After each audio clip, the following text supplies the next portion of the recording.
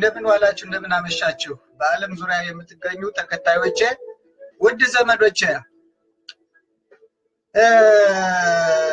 ለምትቀበሉኝም ለምትጠሉኝም በሙሉ በጋራ ሁላችሁንም ወዳችኋለሁ።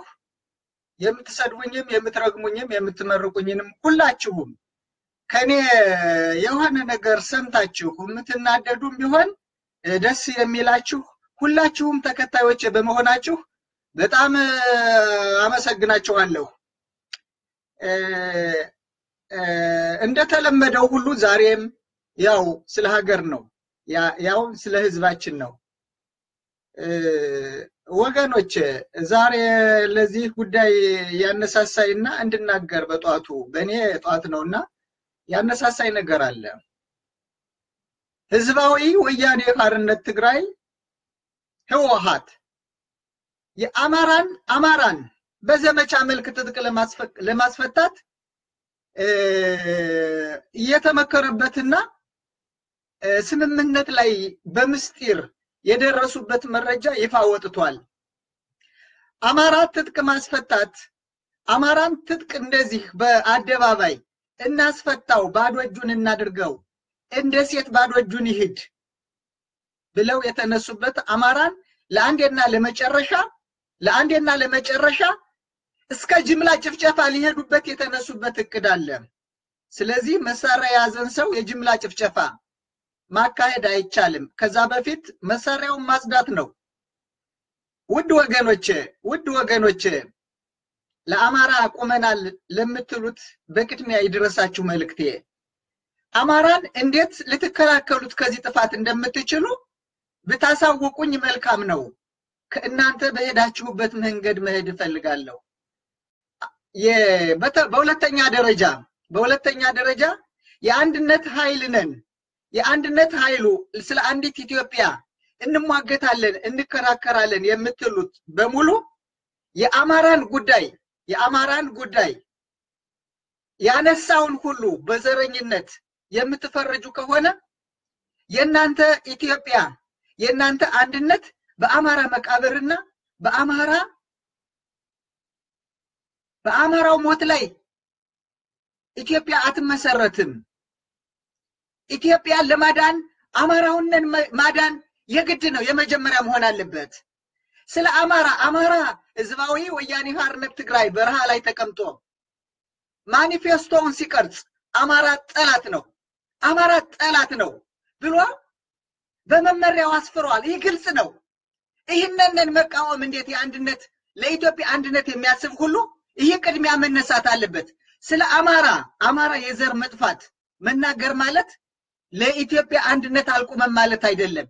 እኔ ኢትዮጵያ አንዱና አንድ ሁና ታፍራና ተከብራ እንድትኖር የምደግፍበት ምክንያት አንዱ ህዝባዊ ወያኔ ሓርነት ትግራይ ኢትዮጵያ እንድትፈርስ ኢትዮጵያን ለማፍረስ አማራን መጨረስ የሚለው መመሪያ በመቃወሜ ነው። በፍጹም አማራ? አማራ። እንኳንስ ከሌላው የኢትዮጵያ ብሔር ብሔረሰቦች ጋር ከራሱ ልጆች ጋር አብሮ እንዳይቆም የመለስን ራዕይ የህወሓትን ፖሊሲ ተከትሎ በአማራነት በአማራነት በአማራነት ሌላውን በማግለል የሚደረግ ትግል በአማራነት ብቻ ብሎ መነሳት የህወሓትን ራዕይ የመለስ ዜናዊ ራዕይ ተግባራዊ እንደማድረግ ነው ብዬ ስለማስብ ስለ አማራ ህዝብ ለመቆም አማራውን ከጥፋት ለመታደግ ከመላው ኢትዮጵያውያን ጋር በጋራ ሆኖ መስራቱ አዋጭ ነው አዋጭ ነው። ጸረ ህወሓት ጸረ ህዝባዊ ወያኔ ሓርነት ትግራይ ትግል ከሆነ ማንኛውም የሚቃወም ካለ ከኦጋዴን ጋር ከአልሸባብም ጭምር ከሰማይ የወረደ አጋንንት ቢሆን አብረን እንድንሰራ ፍላጎቴ ነው ፍላጎቴ ነው። ለዚህ ነው አንድነቱ አንድነቱ ለአማራው ብሔር ብሔረስ ለአማራው ህዝብ ትልቅ ጋሻና መከታው ስለሚሆን አንድነቱ መኖር አለበት። አንድነቱ መጠንከር አለበት። ስለ አንድነት መናገር ለአማራው አለመቆርቆርም አይደለም።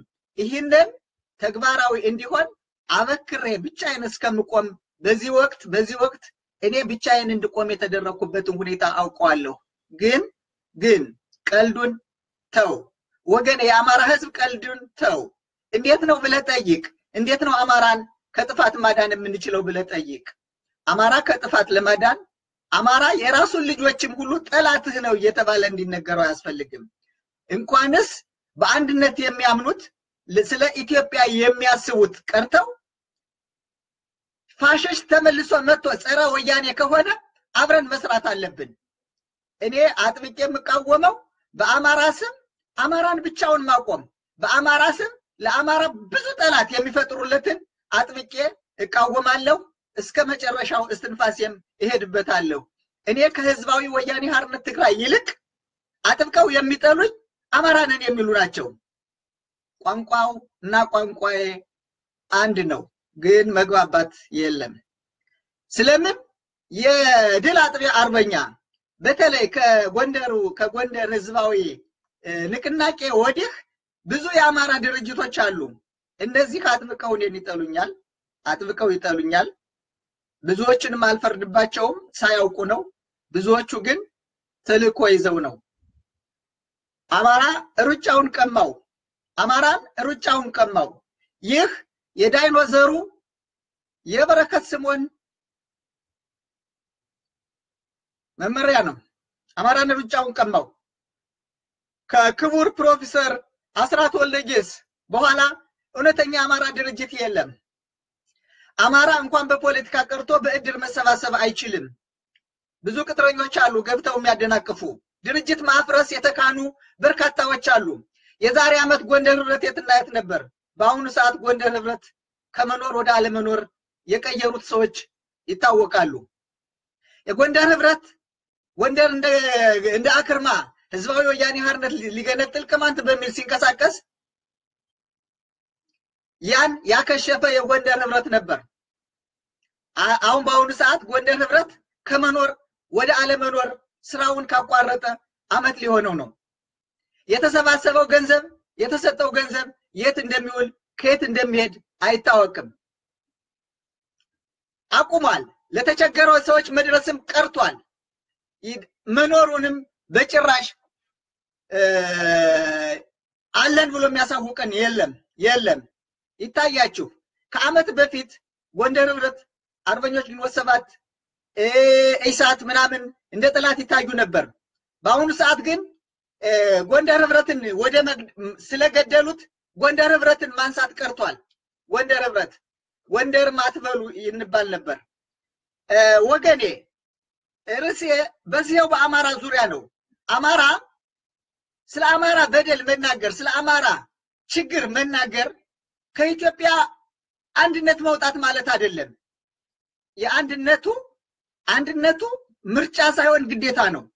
ህዝባዊ ወያኔ ሓርነት ትግራይ ኢትዮጵያን ቀጥቅጦ እንደ ብረት ቀጥቅጦ እንደ ሰም አቅልጦ የገዛ አቅሙን ሁሉን ነገር በኪሱ አድርጎ ኢትዮጵያ ዛሬ ኢትዮጵያ የኢትዮጵያ አይደለችም። ኢትዮጵያ ለኢትዮጵያውያን አይደለችም። ኢትዮጵያ ለተመረጡ የወርቃማው ዘር ብቻ ነች። በዚህ ሁኔታ ላይ ሆኖ ግን ከኡጋዴው ጋር ከኢትዮጵያውያን ኡጋዴዎችን ነጥሎ የራሱ ደጋፊ ያደርጋል። ደቡብ ሱዳንን ሳይቀር መሬት እያስረከበ የራሱ ደጋፊ ያደርጋል። ሰሜን ሱዳንን ተውት። ሰሜን ሱዳንና ህዝባዊ ወያኔ ሓርነት ትግራይ አንድ መንግስት ማለት ናቸው ይቻላል። አንድ ናቸው ማለት ይቻላል። ደቡብ ሱዳን ወደ ሱዳን ብትሄድ ህዝባዊ ወያኔ ሓርነት ትግራይ የፈለገው ማድረግ ይችላል። በሌላ አገር ድንበር ተሻግሮ ሱዳናውያን ወደ ኢትዮጵያ ገብተው የፈለጉትን ማድረግ ይችላሉ። ሱማሌዎች የፈረሰችው የሱማሌ አገር ዜጎች በኢትዮጵያ ውስጥ ገብተው ሹመትና ስልጣን ሳይቀር ይሰጣቸዋል። በምስራቁ ኢትዮጵያ የኦሮሞን ህዝብ ከሚያፈናቅሉት መካከል አብዛኛዎቹ ታጣቂዎች ከቀድሞዋ ሶማሊያ የመጡ ምልሻዎች ናቸው። ይህ ህወሓት እኛን በሰፊው በሰፊው ኢትዮጵያን ለማፍረስ ከጡት አባቱ አባቱና ቤቢሲተሮቹ ናቸው። እነዚህ ምዕራባውያን ለኢትዮጵያ ከፍተኛ ቂም በቀል ስላለባቸው አፍሪካ የነጮች ሀገር ልትሆን ነበረች። ይህን ያከሸፈችው ኢትዮጵያ በመሆኗ ከዚህ አኳያ ተነስቶ ህዝባዊ ወያኔ ሓርነት ትግራይ ቀላል ደመኛ አይደለም፣ ቀላል ደመኛ አይደለም። ስለዚህ ስለዚህ የሰሞኑ አማራን ትጥቅ ማስፈታት የሚለው አዋጅ ይህ የመጨረሻው ነው የመጨረሻው ነው። ህዝባዊ ወያኔ ሓርነት ትግራይ ወደቀ ወደቀ ወደቀ ወደቀ እንላለን። የአዲስ አበባ ላይ መቀመጡ ይቀራል እንጂ ትግራይ ሁለተኛ አገሩን መስርቶ ከሀገር ላይ አገር መስርቶ ታላቋ ትግራይ ገንዘብ ብቻ ነው ገንዘብ ብቻ ነው ከረንሲ ነው የመገበያያ ገንዘቧን ብቻ ነው ያልቀየረች እንጂ ሁሉን ሀገር የሚያሰኛትን በሙሉ አሟልታለች። ሁሉን ነገር ሁሉን ከአዲስ አበባ ከአዲስ አበባ መልቀቅ ቢለቅ ከአማራው ራስ ላይ ግን መውረድ እንደማይችል ወቁ፣ ተገንዘቡ። ለምንድን ነው በዚህ ሰዓት አማራውን ትጥቅ ማስፈታት የተፈለገው? የአማራው ምድር ለታላቋ ትግራይ ግባት ነው። ስለዚህ አማራ መጥፋት አለበት። አልዋሹም። የነገሩንን ይሄን ነው ገና ከመነሻቸው የዛሬ አርባ ዓመት የዛሬ አርባ ዓመት ሲነሱ ትግሉ መጀመሪያ የትግሉ መመስረቻ አማራ ጠላት ነው፣ ስለዚህ መጥፋት አለበት ነው። አማራን ባዶ እጁ ማድረግ ለምን ተፈለገ? ነገ በጅምላ የጅምላ ግድያ፣ የጅምላ ጭፍጨፋ፣ የጅምላ ማፈናቀል ሲካሄድ ሁሉም እሴት ነው። እነሱ ትጥቅ መሳሪያ አላቸው፣ የኬሚካል ጦር መሳሪያ ሁሉ አላቸው። የማይቀረው ነው። አማራ ህዝባዊ ወያኔ ሓርነት ትግራይ የአማራ ገዳይ ነው። በአማራ ላይ genocide ሊፈጽም የመጣ ነው። genocider ነው። የዛሬ ሰማንያ ዓመት በሁለተኛው ዓለም ጦርነት በአውሮፓ ምድር ፋሽስቱ ፋሽስትና ናዚ የጀርመን ናዚዎች antisemitic ነው በተነሱበት ሰዓት ሁሉን ሊያጠፉ እንደተነሱት ከጀርመኖች ከጀርመን ዝርያ ካለው የአርያን ዘር ውጭ ያለው መገደል አለበት ተብሎ የተነሱበት ወቅት ነው። ልክ ህወሓት TPLF ከትግርኛ ተናጋሪው ሰው ውጭ ሌላው ሰው መጥፋት አለበት። በተለይ አማራ አማራ ከሌላው ክፍለ ኢትዮጵያ ብቻ ኢትዮጵያ መፍረስ ትችላለች። ይህን አማራ ግን አማራ ግን ኢትዮጵያን ብቻ ሳይሆን የአማራ ምድሩ ተፈላጊ ነው ለትግራይ ለታላቋ ትግራይ ግንባታ አማራ የአማራ ምድር ግብአት ነው። ይህ ነው ዋናው ዓላማው። ለዚህ ሲባል ለዚህ ሲባል የአማራ ህዝብ ነገ ወደ አንድ አካባቢ ከሌላው የኢትዮጵያ ክፍል እየተባረረ ሂደቱ ቀድሞ ተሰርቶበታል። ሂደቱ ከሌላው ተርፎ ለዘር እንዳይቀር ወደ አማራ ክልል የሚባል ትልቅ የአማራ እስር ቤት አለ። የዛ እስር ቤት ዘበኛ ደግሞ በአዴን የሚባል ሙትቻ አለ። ይህ በአዴን የሚባል በአማራው ውስጥ በአዴን እያለ ምንም ትግል መካሄድ አይቻልም። በአዴን ማለት የማይለቅ ከአማራው ራስ ላይ የማይለቅ ትልቁ የህዋት የህዋት ትልቅ መሳሪያ በአዴን የሚባለው ነው። በአዴን የሚባለው ከላይ እስከታች አማርኛ ተናጋሪ ትግሬዎች የተያዘ ነው። አማራ የራሱ ግዛት የለውም። የአማራ ደንበር የለውም። እያደር እያደር የአማራ መሬት የሚባሉት የአማራ ክልል የሚባለው ወሰን የለውም። ወሰን የለውም። በጎጃም በኩል በመተከል ይገፋል። በወሎ በኩል በራያ አዘቦ ይገፋል። በወልቃይት በጠገዴ በጠለምት የጀመረው እነሆ ታች አርማጭሆ ደርሷል። አሁን አሁን በዚህ ሰዓት ቅማንትና አማራ ብለው በቅማንት በኩል አደራጅተው ያልተሳካውን በአማራ በኩል በነርስቴ መጥተው ነበረ። አማራን ለራሱ ስታደራጀው ቅማንት ራሱ ሳይፈልግ ይለያል። ይሄ ለህወሀት አረንጓዴ መብራት የሚያበሩለትና መንገዱን የሚጠርጉለት አካል አሉ። አማራን በአማራነቱ ስታደራጀው አማራ ያልሆነው በጎንደር የሚኖር ማንኛውም ዜጋ ከአማራው መነጠል ነው። ወደ ወሎ ትሄዳለህ፣ አማራውን ከሌላው ትነጥለዋለህ። አገው ብለህ ለራሱ ታስቀምጥለታለህ። ወደ ጎጃም ትሄዳለህ፣ አማራውን ትነጥለዋለህ። አገው ብለህ ለብቻ ታስቀምጣለህ። ነገ ደግሞ ይቀጥላል። ጋፋት የሚባል ይመጣል። የወይጦ የሚባል ይመጣል። ሌላ ደግሞ አዝማሪም ፋቂም የሚባሉ አረበኛ እንላቸዋለን። እነሱንም ዘራቸው ስም ይሰጥና ይለያሉ። ቅማንትም እስከ ቁንዝላ እስከ ቋራ መተማ የአርማጭሆን መለስ እስከ ወገራ ድረስ የቅማንት ቅማንት በሚል ክልል ይመሰረትና ዛሬ ዞን ነው፣ ነገ ወደ ክልል ያድጋል። በጎጃምም በጎጃም እስከ መተከል አውራጃ ወደ ቤሻንጉል ተወስዷል። ይህ አይመለከተውም አማራን። አንዴ ያለቀለት ጉዳይ ነው። የትግራይ ልዩ መስተዳድር ቤሻንጉል የትግራይ ልዩ መስተዳድር ነች። ልክ ኦጋዴን የትግራይ ልዩ መስተዳድር እንደተደረገው እንደተደረገው ማለት ነው። ስለዚህ አማራ ከመተከል አውራጃ ከተለየ ኬላ ተበጅቶለታል። አማራ አማራ በራሱ ብድር የአባይ ሸለቆና ዛሬ ታላቁ የህዳሴ ግድብ የሚባለው አባይ የተመሰረተበት ወደዛ ማለፍ አይችልም። የአማራ ኬላዎች ከተቋቋሙ ቆይተዋል። አማራ በተገኘው አጋጣሚ ሁሉ ጥቃት ይደርስበታል። በአማራ ላይ ጥቃት የፈጸመ በሙሉ ቃል ለህዝባዊ ወያኔ ሓርነት ትግራይ ቃል የሚገባበትና ስልጣን ላይ ስልጣን የሚያድግበት ትልቁ ትልቁ criteria ነው። በአማራ ላይ ከፍተኛ ከፍተኛ ጥፋት የፈጸሙ መሪዎች ሁሉ እንደነ አለም ነው መኮንን ልዩ ቁልፍ ሰው ሆነው ይቀጥላሉ። እንደነ በረከት ስምኦን እንደነ አዲሱ ለገሰ ያሉት ማለት ነው። ይህ ይህ የዛሬው ትጥቅ ማስፈታት የሚባል አዋጅ መሳሪያ ማስፈታት ብቻ አይደለም። ለወደፊቱ አማራን እንዴት መጨረስ እንደሚችሉ ያለምንም ተቃውሞ እየጎተቱ ወደ አንድ concentration camp ሰሜን ጎንደር በቀላሉ በቀላሉ ወደ ትግራይ ለማድረግ የታቀደበት ትልቁ ትልቁ የመጀመሪያው ጦርነት ነው። ይህንን ማንኛውም ማንኛውም አማራ ነኝ ብለህ የምታስብ ከምሁር እስከ ተራ ባላገር ያለህ በሙሉ ይህን ነገር ልናውቀው ይገባል፣ ልናውቀው ይገባል። ከዛሬ ዓመት ወደኋላ ቀደም ብለንም ስንናገረው የቆየነ ይህን ነው። ዛሬ የድል የድል አጥቢያ አርበኛ ለመሆን ባለሰበር ዜናዎች የጀግናው አካባቢ የእንቃሽ ዳባት የዚህ አካባቢ የቆላ ወገራ የምናምን እያሉ ወገኖቻችን ማስጨፍጨፉ ይቅር፣ ማስጨፍጨፉ ይቅር። ትግል በሁለትና በሶስት በአራት ገበሬ በሸፈቱ አይደለም። ይህን የመሰለ እንደ ህዝባዊ ወያኔ ሓርነት ትግራይ ያለ ያለ ጆኖሳይደር ጆኖሳይደር አረመኔ ጸረ ኢትዮጵያ ጸረ ኢትዮጵያውያን የሆነ ለኢትዮጵያ የኢትዮጵያን ህዝብ ለመውጋት የኢትዮጵያን ህዝብ ለመውጋት ገና ከጅምሩ የተዘጋጀ ነው። ኢትዮጵያውያንን አይወድም። ኦሮሞም ሁን አፋር፣ ሶማሌም ሁን ማንኛውም ሁን ኢትዮጵያን የሚል በሙሉ አይፈልጉም። የውጭ ዜጋ ከሆንክ ኢትዮጵያ ውስጥ ተንበሽብሸህ ትኖራለህ። ሱዳናውያን ያለምንም እንከን ይገባሉ። ሶማሌያውያን የቀድሞ ሶማሌዎች አዲስ አበባ ተምነሽንሸውና ተዝናንተው ይኖራሉ። በቂ ጥበቃና ከለላ ይደረግላቸዋል። በጋምቤላም ሂዱ በጋምቤላም ሂዱ ኢትዮጵያውያን ስላሉ አኟኮች ወደ ኦሞ ሸለቆ ወንዝም ሂዱ ኢትዮጵያውያን ያሉ አነስተኛ ብሔር ብሔረሰቦች ከፍተኛ የዘር ጭፍጨፋ እየተካሄደባቸው ነው። ኢትዮጵያ ያለ በሙሉ የዘር ጭፍጨፋ ይካሄድበታል። ስለዚህ የደቡብ ሱዳን የደቡብ ሱዳናውያን ወደ ኢትዮጵያ በስደት መልክ እየገቡ ዜግነት ተቀብለው እስከ ክልሉን እስከ መምራት እስከ ፕሬዝደንትነት ስልጣን ተቀብለዋል። በኦጋዴን በኩል የቀድሞ ሶማሌ ስደተኞች ናቸው።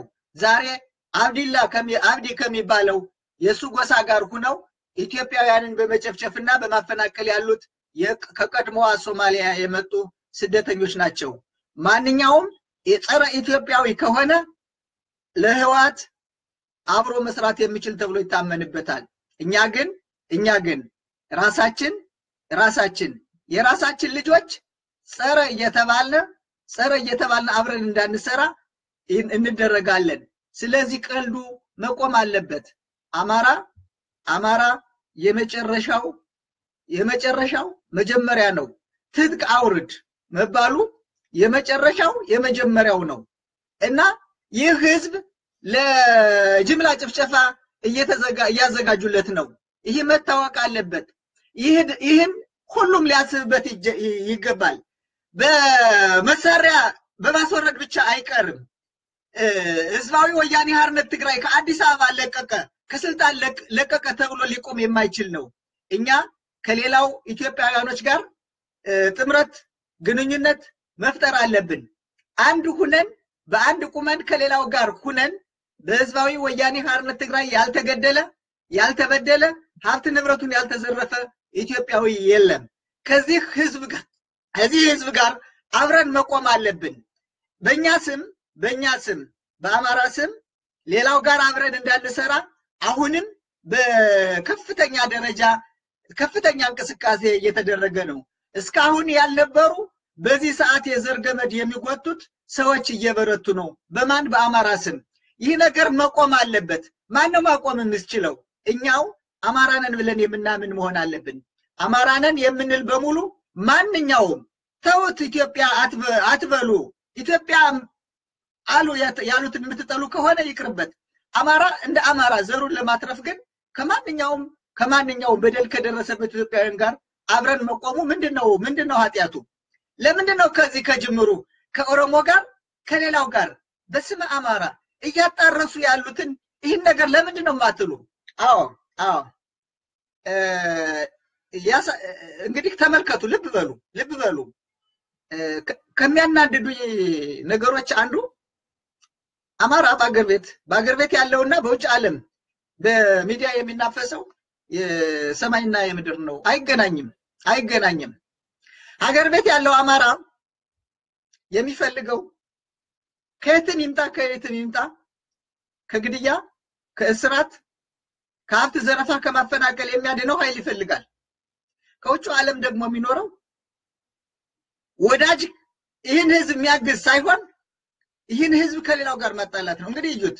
በአገር ቤት ያለው የአገር ቤት ያለው ህዝብ የሚጠይቀው ሌላ፣ በውጭ በሚዲያ በኩል በስሙ የሚዘመረው ሌላ። አማራ ከምን ጊዜውም በላይ ከምን ጊዜውም በላይ ወደ ጥቃት ወደ ጥቃት እየተገባበት ነው። አማራ የመጨረሻው የህዝባዊ ወያኔ ሓርነት ታርጌቱ አማራን መጨረስ ነው። ለምን ለሚለው መልሱ ቀላል ነው። አማራ የትግራይ ህዝብ ጠላት አይደለም፣ መሬቱ ነው የሚፈለገው። ትግራይ እንደ ሀገር ከተፈለገች የአማራ ምድር መቆጣጠር አለባት። ይህ ሁሉ መሳሪያ ማስወረዱ በሞተ ሰዓት አማራን መሳሪያ ማስወረዱ ማለት ቀጣዩ የአማራን ምድር ከአማራው አማራን አጽድቶ የትግራይ ግዛት ማድረግ ነው። እንደዛ ነው የሚያስቡት። ይሆናል አይሆንም አይደለም፣ ላይሆን ይችላል። ግን ስንት ሰው ሙቶ ነው? ሴት የጅምላ ማፈናቀል የኢትዮጵያውያን በኢትዮጵያ ውስጥ የጅምላ ማፈናቀል በሰሜን ጎንደር ነው የሚጀምረው። የሰሜን ጎንደር ህዝብ ወደ concentration camp ወደ አንድ ስደተኛ ሰፈር እንዳለ ሴት፣ ወንድ፣ አሮጊት ህፃናት ይከማቻሉ። ከፍተኛ ጭፍጨፋ በሰሜን ጎንደር ይጀመራል። ይህ የማይቀር ነው። ህዝባዊ ወያኔ ሓርነት ትግራይ በስልጣን ላይ እስካለ ድረስ ይህ ነው የመጨረሻ ታርጌቱ። ለምንድን ነው ወደዚህ እስካሁን ያልገባው ሲባል ኢትዮጵያን መግዛቱ ነው እስካሁን ወደዚህ ያልወሰደውና ከኤርትራ ጋር ተቃራኒ በመቆሙ ነው። በኤርትራ በኩል ችግር ባይኖረው ኑሮ እስካሁን ማንም የሚገታው አልነበረም። ያሰበውን ያደርግ ነበር። ግን ከኤርትራውያን ጋር በቀላሉ የማይፈታ ትልቅ አጣብቂ ውስጥ ይኸው ሁላችንም እንደምናውቀው ዛሬ በማንኙት ባገኙት አጋጣሚ ሁሉ ከተራ ግለሰብ ሳይቀር በኤርትራውያን ላይ ያላቸው አመለካከት በእኛ በኩል ሌላ ነገር ነው የምንሰጠው። በእኛ በኩል ምንድን ነው የምንለው? ሻዕቢያና ወያኔ አንድ ነው አንድ ነው እያሉ ሳይፈልጉ በግድ በኢትዮጵያ ምድር ለሀያ ሰባት ዓመት የሚፈጽመውን ሁሉ ሻዕቢያ እያሉ የሚከሱ ሰዎች አሉ። ይሄ ከየዋህነት ያልዘለለ ነው። ሻዕቢያ ባለው ይቀመጥ። ዛሬ ሻዕቢያ የራሱ ሀገር አለው። ህወሓት ግን ያለምንም ድጋፍ የሻዕቢያን ድጋፍ ኢትዮጵያውያን የፈለገው ማድረግ የሚችል አቅም አለው። እስካሁን እያደረገ ቆይቷል። ምንም አልተደረገም። አሁንም አሁንም እያደረገ ነው። አሁንም እያደረገ ነው። አለቀለት እየሄደ ነው ስንል ከአዲስ አበባ የመውጣቱ ሁኔታ አይደለም። ህዝባዊ ወያኔ ሓርነት ከኦሮሞ ከኦሮሞ በኦሮሞ በኩል already dead በኦሮሞ መካከል ገብተው ማጭበርበር አይችሉም። አቅሙም የላቸው። ቋንቋው ራሱ ቋንቋው ራሱ ያጋልጣቸዋል። በአማራው ግን በአማራ ምድር ተወልደው ከቅድመ አያታቸው የቆዩ የትግራይ ተወላጆች አሉ። እነዚህ እንደ ብረት የጠነከሩ የህዝባዊ ወያኔ ሓርነት ተግባር በአማራው ምድር አማራውን ልጓም አስገብተው አሁንም እጅ እግሩን ጠፍረው የያዙት እነዚህ ግለሰቦች ናቸው። የህወሓት ህወሓት አቅም ስላለው አማራውን በገንዘብ ገዝቶታል። አባቱን ልጁን እንዲገል ሁሉ አድርገዋል። አባት ልጁን እንዲገል ተደርጓል። ይህ ምን ይባላል? ይህ ምን ይባላል? ስለዚህ ለአማራው ህዝብ የሚበጀውን ለአማራው ህዝብ ምን መደረግ ያለበትን በአማራ ህዝብ አማራ የሆነ ለአማራ ህዝብ የተቆረቆረ ምሁራን ሊያስቡበት ይገባል። እየተሰራ ያለው በጣም አሳፋሪ ነው።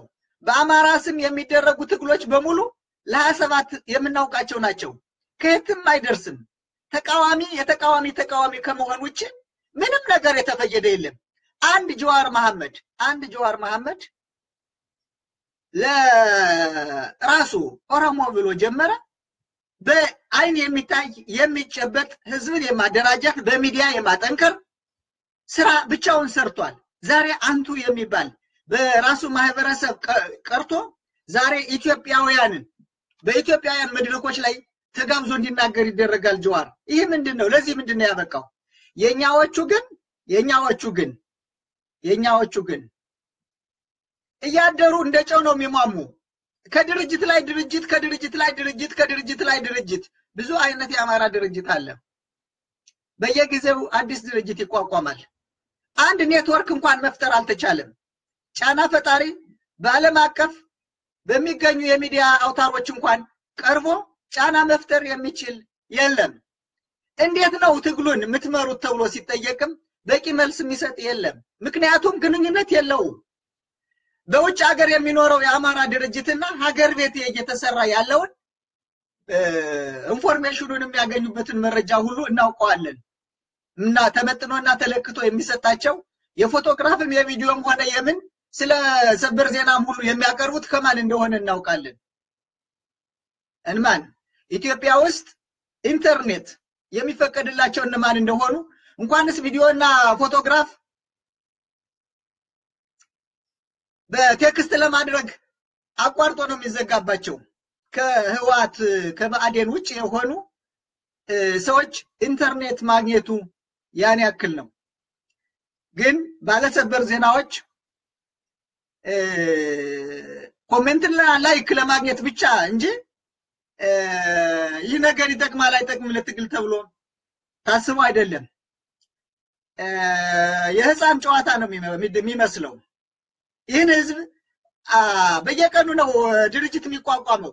በየቀኑ ከኪሳቸው ነው የሚያወጡት መሰለኝ ድርጅቱን ምድር ላይ የሌለ ሶስት ገበሬዎች ተነስተው ከደረሰባቸው ለምሳሌ አሁን ወንድማችን እጅን ስጥ ብለው መሳሪያ ሊገፉት ሲሄዱ እጅ አልሰጥም ብሎ ቢችሉ ኑሮ ይህ ደግሞ የእኛ ነው ብለው አንድ ድርጅት ያቆሙ ነበር። ከመሞቱ በፊት ቢያውቁት ኑሮ ማለት ነው።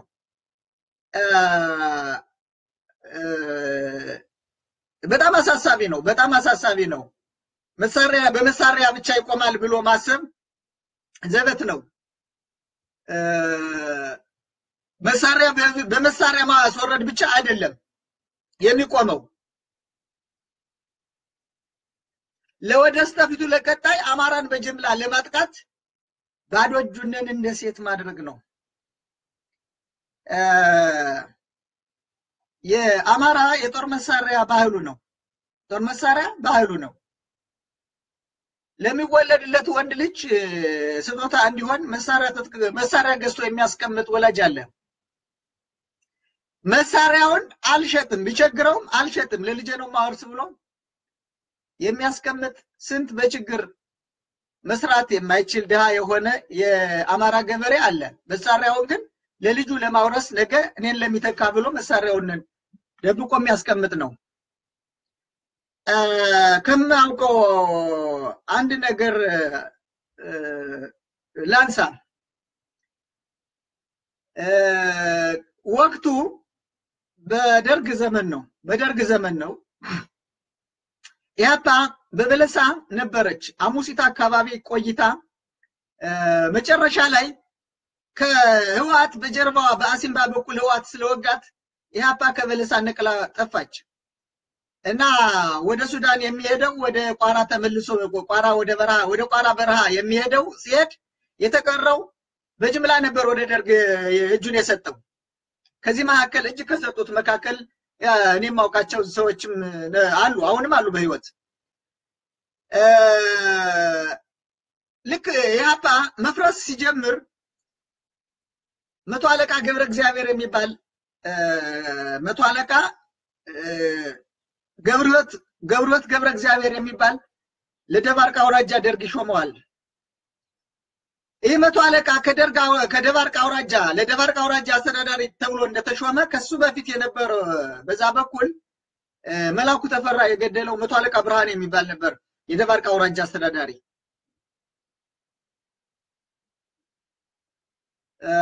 ይህ ገብረህይወት ገብረ እግዚአብሔር የሚባል ወንድሙ ነጮ ወይም ማን የሚባል በህወሓት ውስጥ የሚሰራ አመዴ ነው ማን የሚባል ወንድም እንደነበረው ይነገራል።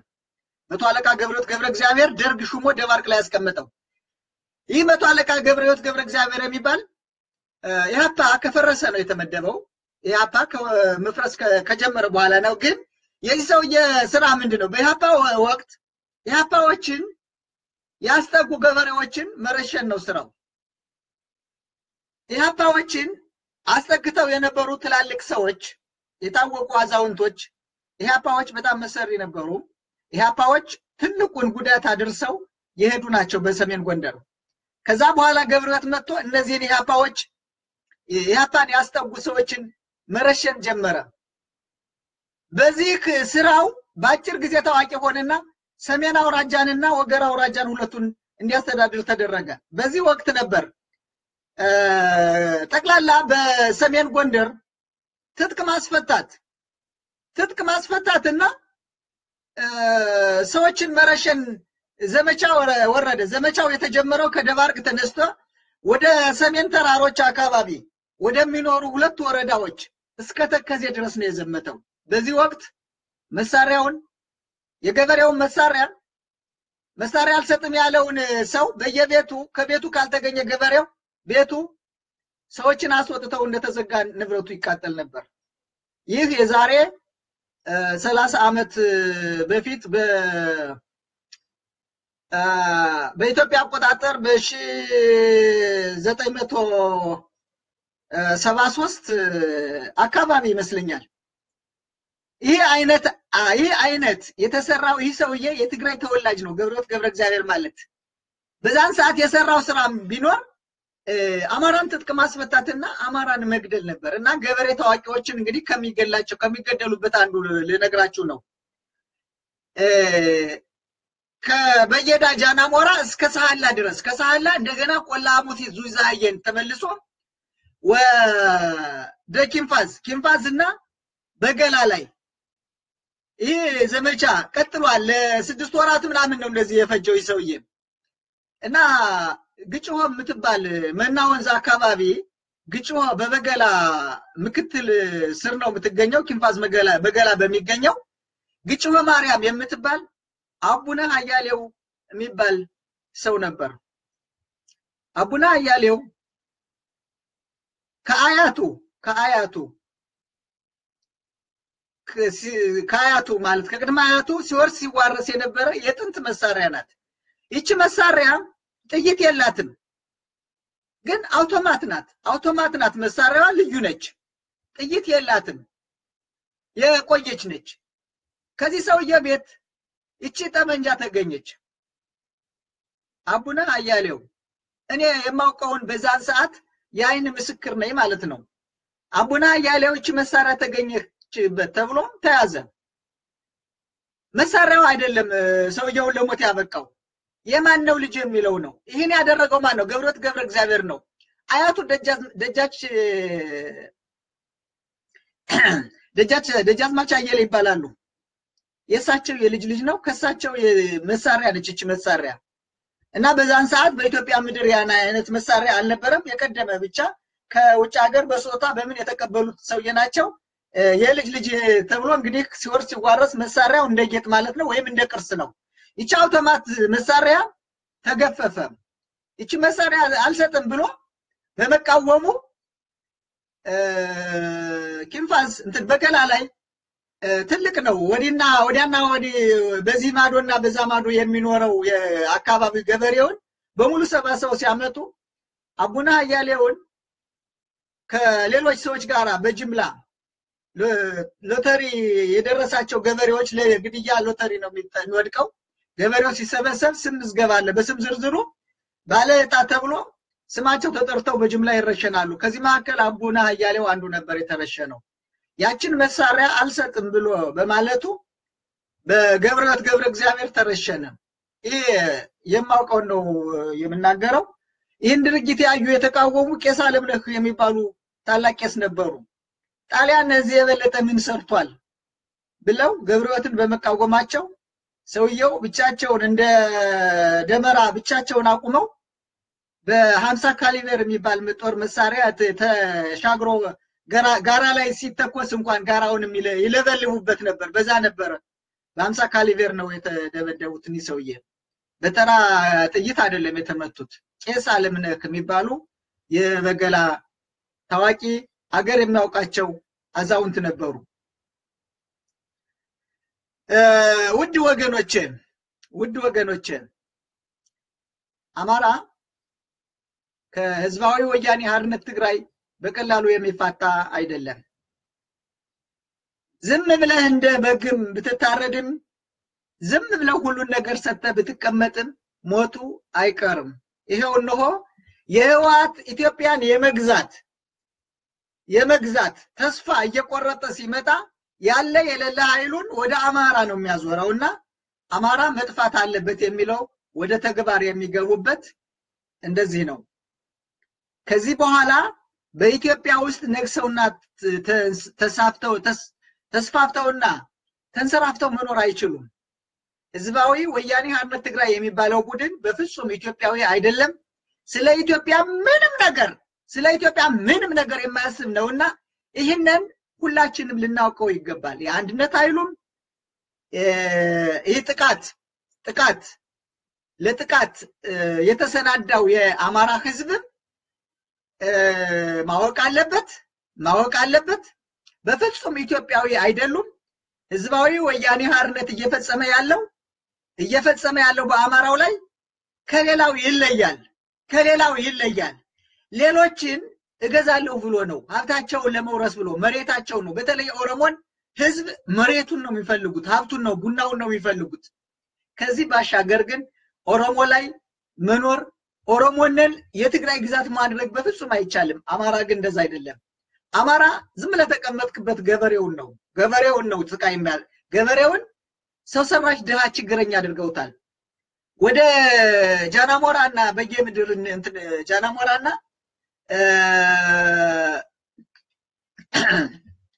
በየዳ እንሄድ፣ ወደ ጠለምት እንሄድ፣ አዳርቃይ አዳርቃይ የሚባል አሁንም በአማራ ክልል ስር በይፋ ወደ ትግራይ አልተወሰደም።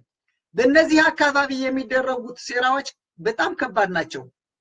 በሰሜን ተራራዎች የሚገኙ በሰሜን ፓርክ በኩል የሚገኙ ገበሬዎች ከእጅ ወደ አፍ እንዲኖር ነው የተደረገው። ከእጅ ወደ አፍ ለምን ብሎ መጠየቅ አይቻልም። ለምን ብሎ እንዲሰደዱ ገበሬው ልጆቹን መቀለብ ስለማይችል ሴት ልጅ በአስራ ሶስት ዓመቷ ትሰደዳለች ከዛ አካባቢ። እንግዲህ ይታያችሁ ሰሜን አውራጃ ወገራ አውራጃ ለሌላው ለሌላው በትግል ወቅት እህል የሚሸምቱበት እነዚህ አካባቢዎች ነበሩ። ዛሬ ግን የዚህ አካባቢ ህዝብ እንዳያርስ የበሬ ግንባር የምታክል ብቻ መሬት እንዲኖረው ተደርጎ ገበሬው በሰው ሰራሽ ችግር ተቆራፍዶ በራሱ ጊዜ ለቆ እንዲሄድ በተለያየ መልኩ ጫና እየተደረገበት ነው።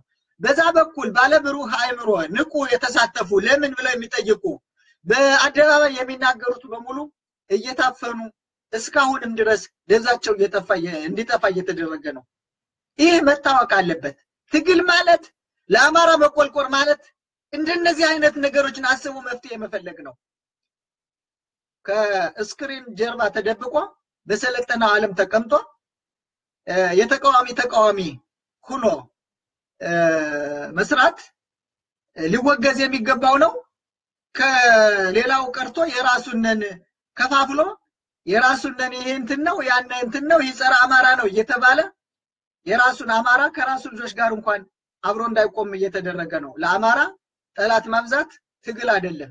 ለአማራ ወዳጅነት፣ ወንድማማችነት አብረን እንድንቆም ከራሱ ከአማራው ቀርቶ ከሌሎች ጋራ ጥምረት እየፈጠርነ እየተቀናጀነ ይህን ክፉ ጠላት መቋቋም ስንችል እኛም ጸረ አማራ እየተባልን ሩጫችን ተቀምጦ የዛሬ ስንት ዓመት በጉራ ፈርዳ ሲፈናቀሉ የማናውቃቸው ሰዎች ከዛሬ አንድ ዓመት በፊት ከኢትዮጵያ ከህዝባዊ ወያኔ ሓርነት ጎን ቁመው ሲሰድቡንና ሲያሾፉብን የነበሩ ዛሬ በአማራነታችን እያሉ እኛን ሲሳደቡ ማየት የተለመደ ነው። ከሚገርማችሁ እኔ በአማራነት የሚሉት በአንድ አያታቸው የትግራይ ናቸው። በአንድ አንዱ ማውቀው እኔ ከአገው የአገው ብሎ እኔ አገው የአማራ ጠላት ነው ብዬ አልወስድም። ግን እኔን የአማራ ጠላት ነህ ሊለኝ ግን አይችልም። ከአገው ብሔረሰብ ወጥቶ መጥቶ አባቷ ከትግራይ ሁና እኔ በአማራነት እያለች እኔን ጸረ አማራ እንድትለይ አልፈቅድም። ይሄ ግን በአደባባይ ጢባጢብ የሚጫወቱብን እነዚህ ሰዎች ናቸው። አያት ቅድመ አያቶቻቸው ሌላ፣ እነሱ ግን አማራ። እነዚህ ናቸው ሲሰድቡና ሲያሰድቡን የሚኖሩ። እያንዳንዱ እያንዳንዱ ከበስተጀርባው ስታዩት ከበስተጀርባው ስታዩት ተልኮ ያዘለ ነው። ግን ብዙሃኑ ግን በሺ የሚቆጠረው ግን መስሎት ነው መስሎት ነው እኔን የሚሰድበኝ መስሎት ነው። እኔን የሰደቡኝ በሙሉ የሰደበኝ በሙሉ ነገሩ ገብቷቸው ነው ብዬ አላስብም። ሳይገባቸው ነው። የተወሰኑት ግን ይህን የሚያቀናጭሩት ግን በአያታቸው ሌላ ዘውግ ያላቸው ናቸው። ሌላ ዘውግ ያላቸው ናቸው። አማርኛ በመናገራቸው ብቻ በጣም በከፍተኛ ስራ ነው የሚሰሩ። በየቤቱ ይደውላሉ፣ ያስደውላሉ። ስለዚህ ከተቃዋሚዎች ጋር አብረው የሚሰሩ like ና comment የሚያደርጉትን እየደወሉ እያስደወሉ አብዛኛዎቹ ለዚህ ደግሞ ታዋቂ የሆኑ የኛ ከአማራው ወገን ያሉ ሰዎች አውቀውም ይሁን ባለማወቅ ለዚህ መጠቀሚያ ሆነዋል። ይገርማቸዋል። ጥላቻው ከፍተኛ ነው። ጥላቻው እንዴት ግን አማራ ኢትዮጵያዊ የሚለውን ላይ ጥላቻ ያድርበታል። አማራ ሆኖ ኢትዮጵያ የሚለውን ሰው ላይ ከፍተኛ ጥላቻ ይኖረዋል። ከህዝባዊ ወያኔ ሓርነት ትግራይ ይልቅ እነዚህ በአማራ ስም የሚንቀሳቀሱት የሚጠሉት የሚጠሉት የአንድነት ኃይሉን ነው። ለምን ለምን ብሎ ይጠየቃለ? ለምን ብሎ ይጠየቃለ? ለምንድን ነው ለአማራ ሊታገል ስለ አንድነት የሚሰሩትን ሰዎች የሚጠሉት ምክንያቱ ምንድን ነው? በዚህ ሰዓት አንድም ነገር በእጃቸው የሌለ ሰዎች እየሰሩ ያሉትን በትግል የጀመሩትን እነሱን ማጠናከር ሲገባ የኢሳትን ሚዲያ ባይኮት የሚጠሩ ሰዎች እንዴት ነው አማራንን ብለው ሲመጡ አቤት ወዴት የምንላቸው? ኢሳት የሚሰራውን ስራ በተግባር እናየዋለን። ሌሎችም አሉ። ህዝባዊ ወያኔ ሓርነት የሚጠላቸውን ሁሉ እየጠሉ ለአማራ እየታገልኩ ነው ማለት አያስቅም? ያስቃል።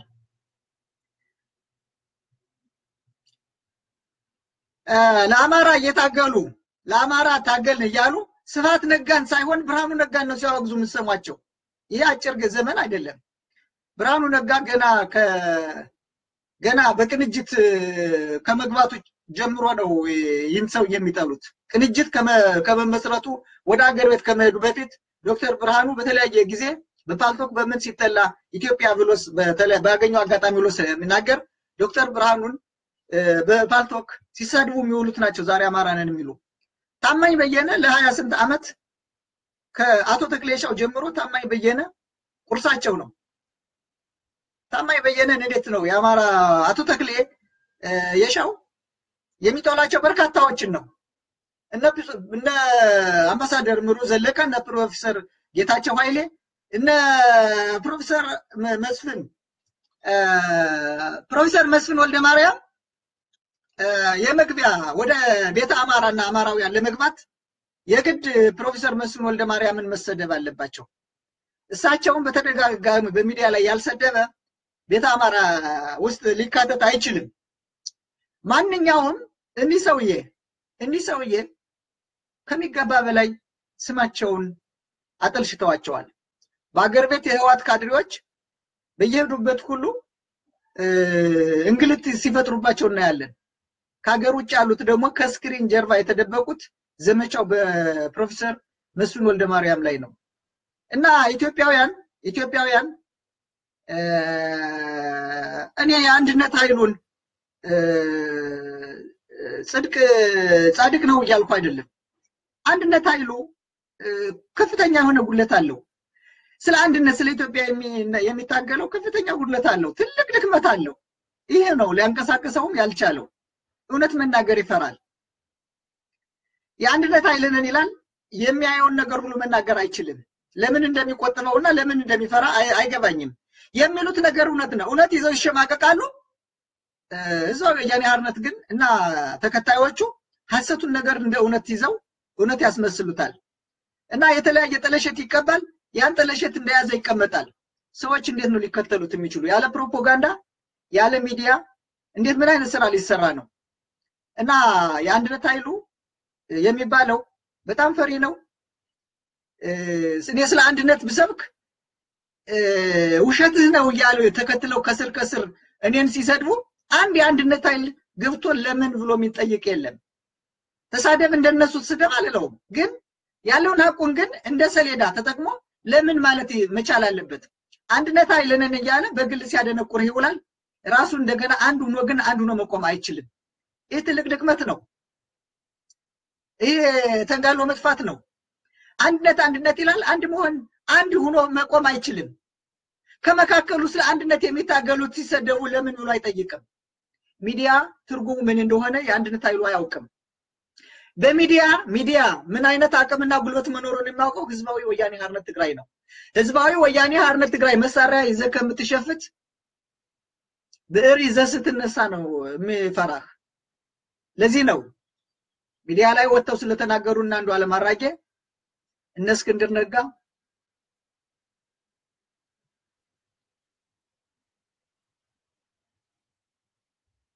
እና ሌሎችም በሺህ የሚቆጠሩት ስቃይ መከራ የተቀበሉት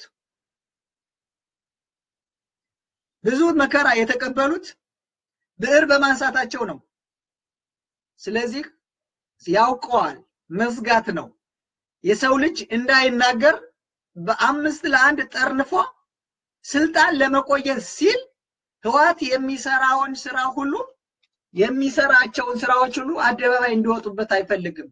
አስቀድሞ ህዋት ሚዲያን ያውቀዋልና በሚዲያ ውሸት ሲደጋገም እውነት የሚለውን የጀርመን ናዚዎችን የፕሮፓጋንዳ ሚኒስትሩን የጆሴፍ ጎብልስን መመሪያ እንዳለ ተግባራዊ አድርጎ በረከት ስምኦን በሚዲያ በኩል በረከት ስምኦን በረከት የማይገባበት የለም ይባላል። አቶ ኤርሚያስ ለገሰ እንደነገረን የበረከት እንትን በረከት ህዝባዊ ወያኔ ሓርነት የራሱ የግሉ እንደሆነ ነው። በረከት የማይገባበት ነገር የለም። አሁንም የመጨረሻ ሰዓት ተመልሶ እሱ ወደፊት እየመጣ ነው ያለው። በረከት ስምኦን፣ አዲሱ ለገሰ ሁለቱ በተለይ የአማራውን ጉዳይ በእነዚህ ሰዎች ልጓም የተያዘ ነው። አማራ ንቅንቅ አይልም። አማራ በሚዲያ በኩል አማራውን እንዴት ማበላሸት እንደሚቻል የአማራን ትግል እንዴት ማኮላሸት እንደሚቻል እቅዱን የሚያወጣው በረከት ስምኦን ነው።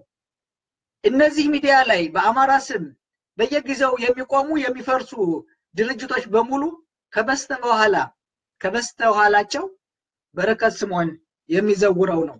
ባጀት አለው። ቀላል አይደለም። በነፃ አይደለም።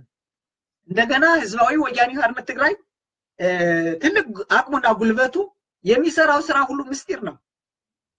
የሚያደርጋቸው ሁሉ ምስጢር ናቸው። ምስጢሩን የሚያውቁት ተከታዮቹ እንኳን አያውቁትም። ዛሬ የተናገረውን ሳይሆን ነገ የሚሰራውን ሌሊቱን ሲመክር አውጥቶ ነገ አሁን ስለ መሳሪያ አሁን አሁን ምስጢሮቹ እየወጡበት ነው። ምስጢሮቹ እየወጡበት ነው። ግን የተቻለውን ያህል ምስጢሩ ሲወጣ ይቀይረዋል፣ አካሄዱንም ይቀይራል። ይህ ልዩ ብስለት ነው። የአንድነት ኃይሉ ግን ቢያንስ ቢያንስ እንኳን ምን መደረግ አለበት ብሎ ስልጠና መስጠት፣ ሰዎችን መመደብ፣ ውይይት መክፈት እንደነዚህ የመሳሰሉት ነገር የለም። የአንድነት ኃይሉ ባለቤት አልባ ነው። ባለቤት አልባ ስፖንት ባለቤት ስፖንታኒ የሚሄድ ነው። ባለቤት የለውም። ባለቤት ያለው ድርጅት አካሄዱን እያየ ይስተካከላል። የአቋም ለውጥ ይደረጋል። የአፈጻጸሙን ይገመግማል። ድክመቱን ያያል። እንደገና ሌላ አዲስ አዲስ ዘዴዎች ይፈጠራሉ። አንድነትን የሚያቀነቅነው የዚህ አይነት እንትን የለውም። ማን ምን እንደሆነ ለይቶ ማወቅ ይከብደዋል። አንኮቃቀሩም አሰራሩም ልማዳዊ ነው።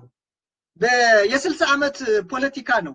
የስልሳ ዓመት ፖለቲካ ኢትዮጵያን ወደዚህ ዘግዝቆ ያመጣ የምሁር የሚባለው በዛ ውስጥ ተሰባስቦ ማን ምን እንደሆነ ለይቶ ምን መደረግ እንዳለበት ባለቤት አልባ የሆነ ትግል ነው።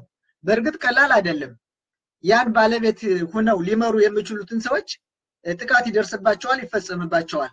አሁንም በውጭ ሀገር በውጭ ዓለም ተቀምጠው ይህ ነገር በእንደነዚህ አይነት የሚያስቡ ሰዎች ላይ ጥቃት አይፈጸም ማለት ዘበት ነው።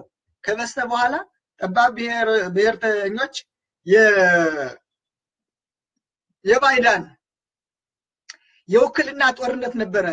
በኢትዮጵያውያን ብቻ በኢትዮጵያውያን ሳይሆን በኢትዮጵያ ላይ በኢትዮጵያ ላይ የተጠነሰሰ ሴራ ነው። ይህ የነጮች እጅ ነው። የኢትዮጵያ ታሪካዊ ጠላቶች እጅ ነው። አሁንም ነጮች እኛ እንደምናስበው አይደለም የሚያስቡ። ወደፊት ቀድመው ወደፊት የሚመጣውን ነገር ያውቃሉ እና ኢትዮጵያን አይወዷትም፣ በፍጹም አይወዷትም። ወዳጅ መስለው ኢትዮጵያን ይጎዳሉ። ወዳጅ ሀገር ሁነው አሜሪካን አይተናል። በአፄ ኃይለሥላሴ ዘመን የኢትዮጵያ ወዳጅ ነበሩ። አስመራ ቃኘው ላይ ተቀምጠው ይኖሩ ነበር። ከዛ መውጣታቸው የማይቀር መሆኑ ስላወቁ ከኤርትራ ከኢትዮጵያ ጋር እንድትለያይ የሚለውን ሴራ ጠንስሰው ሆዱ የሚባለው እና ህዝባዊ ግንባር ኤርትራ ወይም ሻቢያ እንዴት ተጀመረ ትግሉ? ማን ደገፈው? መካከል ላይ ድርድሮች ይካሄዱ እንደነበረ እና ያ ድርድሩ እንዲቋረጥ የተደረገበት ከተለያዩ ሰዎች ሲነገር እንሰማለን። ከኢትዮጵያ መንግስት ጋር አፄ ኃይለሥላሴ ሲገዙት በነበረው እና በሻቢያ መካከል የተወሰነ ድርድር ሊካሄዱ ሰዎች በዛ በኩል ከኤርትራ በኩልም ተመድበው ይሰሩ ነበር። ግን እነዛ ሰዎች ላይ ይህ እንዳይሆን አሜሪካኖች እንዳስተጓጎሉት ይነገራል። እና ወዳጅ መስለው ጠላት ነው የሚሰሩት። ከሶማሌ በኩልም ሶማሊያ ኢትዮጵያን በወረረችበት ሰዓት አሜሪካኖች እኛን ሊረዱን እንዳልፈለጉ እናውቃለን። ህዝባዊ ወያኔ ሓርነት ትግራይን በሁሉም ነገር የተሟላ ትጥቅና መገናኛ እንዲኖረው ተደርጎ እኔ እንደሚመስለኝ የኢትዮጵያ ብርም እየታተመ ይሰጣቸው ነበር ማለት ይቻላል። ባንክ ያላየው ገንዘብ በኪሳቸው ሲወጣ አውቃለሁ። እህል ገበያ መጥተው ሲሸምቱ አዲስ ወረቀት ነው፣ አዲስ ብር ነው የሚያወጡትኝ። የት አገኙት? በበረሃ ያለ ሰው አዲስ ብር እንዴት ነው ሊያገኝ የሚችለው? ከዛ በፊት ከገበሬ ከሰው ኪስ ያልገባ ገንዘብ ነው የሚያወጡት የነበር እና በኢትዮጵያ ላይ ትልቅ ደባ እየሰሩ ያሉት የምዕራባውያን ሀገሮች ስለሆኑ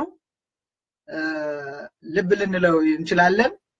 ውድ ወገኔ ውድ ወገኔ የአማራ ህዝብ በሙሉ አደጋው መጥቷል። አደጋው የማይቀር ነው። ህወሓት እየተንቀሳቀሰ በህይወት እስካለ ድረስ የህወሓት እስትንፋስ እስካልጠፋ ድረስ አማራ ጋር ያለው ጋብቻ አይፈጸምም። የአማራና የህዝባዊ ወያኔ ሓርነት የመጨረሻው goal final solution የሚሆነው ሰሜን ጎንደር የመጀመሪያው ወረራ የሚካሄድበት ምድር ነው።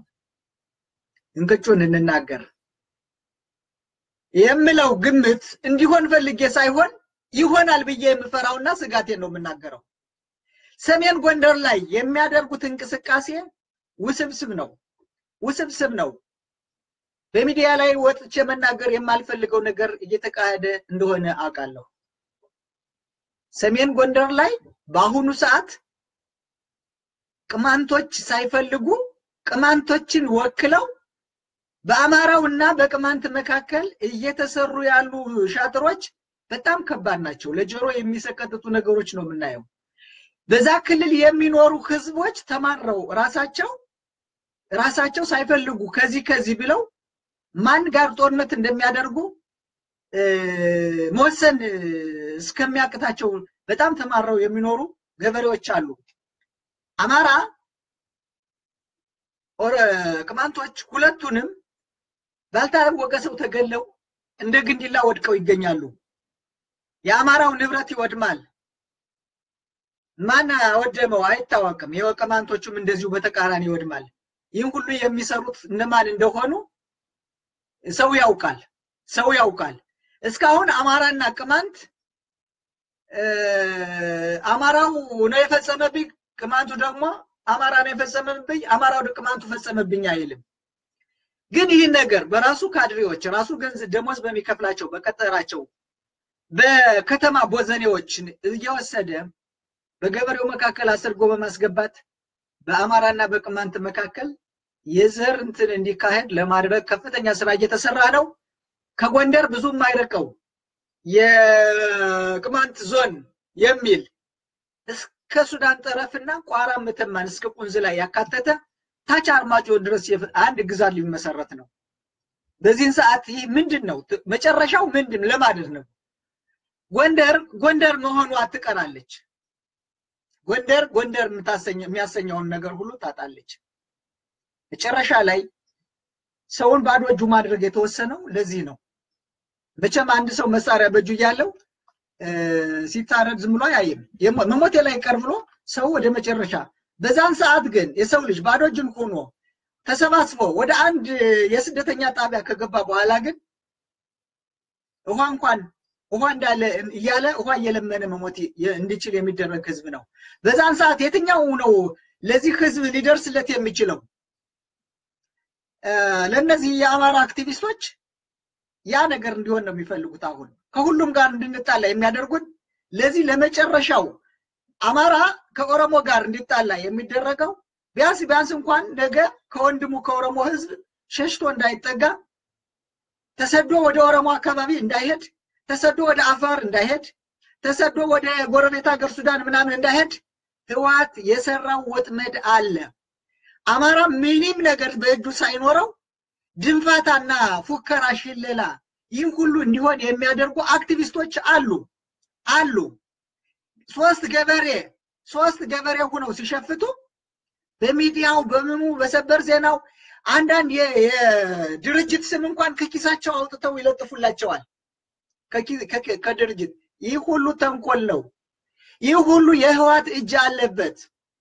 በፍጹም ከሀገር ቤት ወደ ውጭ ሀገር የሚመጡት መረጃዎች በሙሉ ማንም የማንም ድርጅት አይደለም። ብዙ ሰዎች ብሶታቸውን ለመግለጽ የማይችሉበት መስመር የማያገኙበት አጋጣሚ ነው ያለው። ግን ሰበር ዜና የሚደርሳቸው ሰዎች አሉ። ምን አገባቸው እነሱ comment እና like ለማግኘት ብቻ ብለው ተቀብለው ያንን በሰበር ዜና ያሽጎደጉዱታል። ከሶስት ቀን በኋላ ከአራት ቀን በኋላ የት እንደደረሰ አይታወቅም። ትላንትና የተቋቋመው ድርጅት ዛሬ ስሙን እንኳን ለማስታወስ አይችሉም። ስንት ድርጅቶች ነጎቤ መልኬ በደረሰባቸው አፈና፣ ግድያ፣ ሀብት ዘረፋ ተማረው ነበር የገጠሙት። ግን እኛንን ያቆምነው ሲባል አማራ ሬሲስታንስ የአማራ ተጋድሎ ተብሎ ከውጭ ሀገር አሁን ፋኖ የሚባለው ቄሮ የሚባለውን በተቃራኒ አንድ የአማራ እንቅስቃሴ የወጣት ድርጅት ይነሳል። እነሱ ቀድመው እኛንን ያቋቋም ነው ብለው ማለት ጀመሩ። ግን አልሄደም፣ አላዋጣቸውም። የሚቀየስላቸው አለ። ሊያቆሙና ሊቀጥሉ የሚችለው አይጠናከርም። የአማራ ድርጅት አይጠናከርም። ለማደናቀፍ ብቻ ተብሎ ነው የሚቋቋመው፣ ለማደናቀፍ ብቻ እንጂ እንደ ኦሮሞው በማህበረሰቡ ውስጥ ገብቶ በሚዲያ በኩል አጠናክሮ ንጹህ ለኦሮሞ ህዝብ የሚሆነው ነገር ተሰርቶ በሚዲያው የነበረው ወደ ምድር ወርዶ ይህን የመሰለ የቄሮውን ትግል ሊያፈራ ችሏል። በአማራ ግን እንደዛ አይደለም። እንዲያውም በምድር ላይ ያሉትን ከማጠናከር በማጠናከር ፋንታ ስማቸውንና አድራሻቸውን የሚኖርበትን አካባቢ በሚዲያ ላይ እያወጡ እያስደበደቧቸው አይተናል። ፎቶግራፋቸውንም በምስልም በቪዲዮም እየተቀረጸ ያ ነበር ሁኖ ጸጸት ጸጸት ብቻ ይዘን እንድንቀር ተደርጓል። በቤተሰብ አማካኝነት ህወሓት በፈጠረው ኔትወርክ እንዲደወሉና እንዲናገሩ እየተደረገ ስልካቸው እየተጠለፈ ለዚህ ነው ወደ ማዕከላዊ እየወረዱ ሰቆቃ የተፈጸመባቸው በሙሉ ያለ ምክንያት አይደለም፣ ያለ ምክንያት አይደለም። እና ውድ ወገኖቼ ለማንኛውም የአማራ ህዝብ ሆይ አማራ የራሳችን መፍትሄ ሊኖረን ይገባል። ከማንኛውም ጋር በጋራ ልንሰራ ይገባል። ይህ ክፉ ጠላት ነው እና ቀጣዩ ምንም የማያውቁትን አርሶ አደር ላይ እኛ በተለያየ ዓለም ተቀምጠን በእነዚህ ከአርሶ አደሮች ላይ የሚደርሰው ሰቆቃና ግፍ መከራ ዛሬ በሀብታቸው የገዙትን ጠመንጃ ለመቀማት ይገደላሉ። ትግራይ ግን የትግራይ ገበሬዎች ግን ምንም ጠላት በሌለበት ምንም ጠላት በሌላቸው በቂ ስልጠና እስከ አልባሳት ድረስ እየተሰጣቸው እንኳንስ ወንዱ ሽማግሌዎች ከሀገር ሀብት በተገዛ ጦር መሳሪያ እየወጣ ይከፋፈላሉ። የትም ቦታ የሚኖር የትግራይ ተወላጅ ድርብ ድርብ መሳሪያ ይታጠቃል። በቂ ስልጠና ይሰጣል። አሮጊት ሴት ሳትቀር ሁሉ መሳሪያ ከተራሱ አለ። አዲስ አበባ የሚኖር የትግራይ ተወላጅ በርካታ መሳሪያዎችን ከቤቱ የከዘነ ነው። አንዳንዶቹማ ከቤታቸው በታች እስር ቤት ያለበት ነው ይባላል። እንዳየነው በኦሮሞ አካባቢ በኢንቨስትመንት የተቀመጠ ሰውዬ በኦሮሞ ክልል መሬት በታች ከቤቱ ስር ነበር የመሬት በታች ቶርቸር የሚደረጉበት የኦሮሞ ወጣቶች የተገኘው እና ይህንን ማየት አለብን። መሳሪያ ማውረድ ከማውረድ በኋላ ምንድን ነው የሚከተለው? ይህን ለህዝባችን ማሳወቅ፣ ማስተማር፣ በአንድ መቆም አለብን። ግንቦት ሰባት የአማራ ጠላት ነው። ኦነግ የአማራ ጠላት ነው። ኦነግ የሚለው እንኳን አሁን ትተውታል። ቄሮ ለዚህ ቄሮዎች ብዙ ነገር ነው ያንኮላሹባቸው። ህዋትን በብዙ መልኩ ነው ኢትዮጵያ ብለው መምጣታቸው ህዝባዊ ወያኔ ሀርነትና ህዋታውያን ህዋት ያሰማሯቸው የዘር ገመድ የሚጎቱትን በሙሉ ያሳፈረ ስራ ነው። በጣም ያሳፈረው መስላቸው ነበር። ጀዋርን በእንግድነት አቅርበው ወደ አማራ ድርጅት ሞረሽ አቅርበውት ነበር። ይታያቸው። ይሄ አያስቅም? ለዘመናት የኦሮሞን ሲሰዱበት የነበረ በጀዋር ምክንያት ነበር። በመጨረሻ ሰዓት ግን ጀዋርን ክብር እንግዳ ታማኝ በየነ የሚሰደድበት የደምስ በለጠ ሬዲዮ ጣቢያ አርበኞች ግንቦት ሰባት የሚጠለጠልበት የደምስ በለጠ ጣቢያ የጀዋር በክብር እንግድነት ቀርቦ ሀሳብ ሲሰጥ ሰምተናል። ሀሳብ ሲሰጥ ሰምተናል።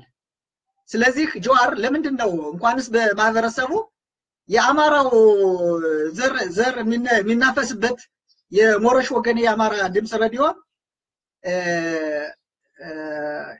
ጀዋር መሐመድን በክብር እንግድነት አቅርቦ ነበር። እነ ታማኝ ግን የሚሰደቡበት ነው። ቀልድ አለ፣ ትልቅ ቀልድ አለ። በአማራ ህዝብ የሚቀልድ ነገር አለ። አያሌው መንበረን ልሳነ አማራ የሚል ዛሬ በሙሉ በህዋት እስር ቤት በህዋት እስር ቤት ጥፍራቸው ሲነቀል ኢሰብአዊ ግፍ ሲፈጸምባቸው የነበሩ በሙሉ ኢትዮጵያ ስላሉ እንጂ አማራ ቢሉ ኑሮ አይታሰሩም ነበር። አማራ ብለው የዘር የዘር ገመድ ቢጎት ኑሮ የሚታሰር ሰው ማንም አልነበረም። ኢትዮጵያ የሚለውን ግን እያሸተቱ ወደዚህ ዛሬ እነዚህን ሰዎች ከእስር ቤት ሲወጡ በእስር ቤት ሲኖሩ አንድ የአማራ የአማራ ወጣት የአማራ ነኝ የሚል አንድ አክቲቪስት አደባባይ ወጥቶ ስለሚታሰሩት ስለሚገረፉት ወጥቶ ሲናገር ለነሱ እርዳታ የሚሆን ሲያሰባስብ ለነሱ ሚዲያ ሁኖ የሚያገለግለውን ሲያደርጉ አታይም። ግን አሁን ከእስር ቤት ሲወጡ ሲወጡ ለምሳሌ ንግስት ይርጋ ከእስር ቤት በወጣች በስንተኛው ቀን አያሌው መንበረ አግኝቶ ቃለ መጠይቅ አደረገላት። መቼ ነው አያሌው መንበረ ለዚህ ህዝብ ወጥቶ አደባባይ ሲቃወም ያያችሁት? አቶ ተክሌሻው ከየትኛው ከየትኛው ሰላማዊ ሰልፍ ነው ተገኝተው አይታችኋቸው የምታውቋቸው? የአማራ አክቲቪስት በሙሉ የትኛውን ባለስልጣን ነው ከኢትዮጵያ ወደ ውጭ ሀገር በሰሜን አሜሪካ ሲኖር ገብተው ሲያዋክቡና ሲቃወሙ ያያችኋቸው እነማንን ነው?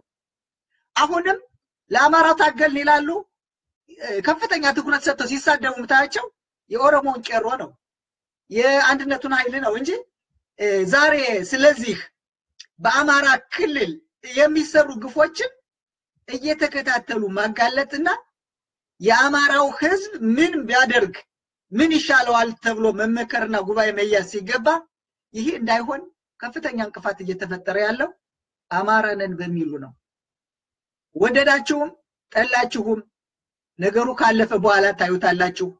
እነዚህ ሰዎች በምንም ተአምር በምንም ተአምር ለአማራ አማራውን ከዚህ አደጋ ሊያግዙት የማይችሉ ሰዎች መሆናቸውን መገንዘብ አለብን።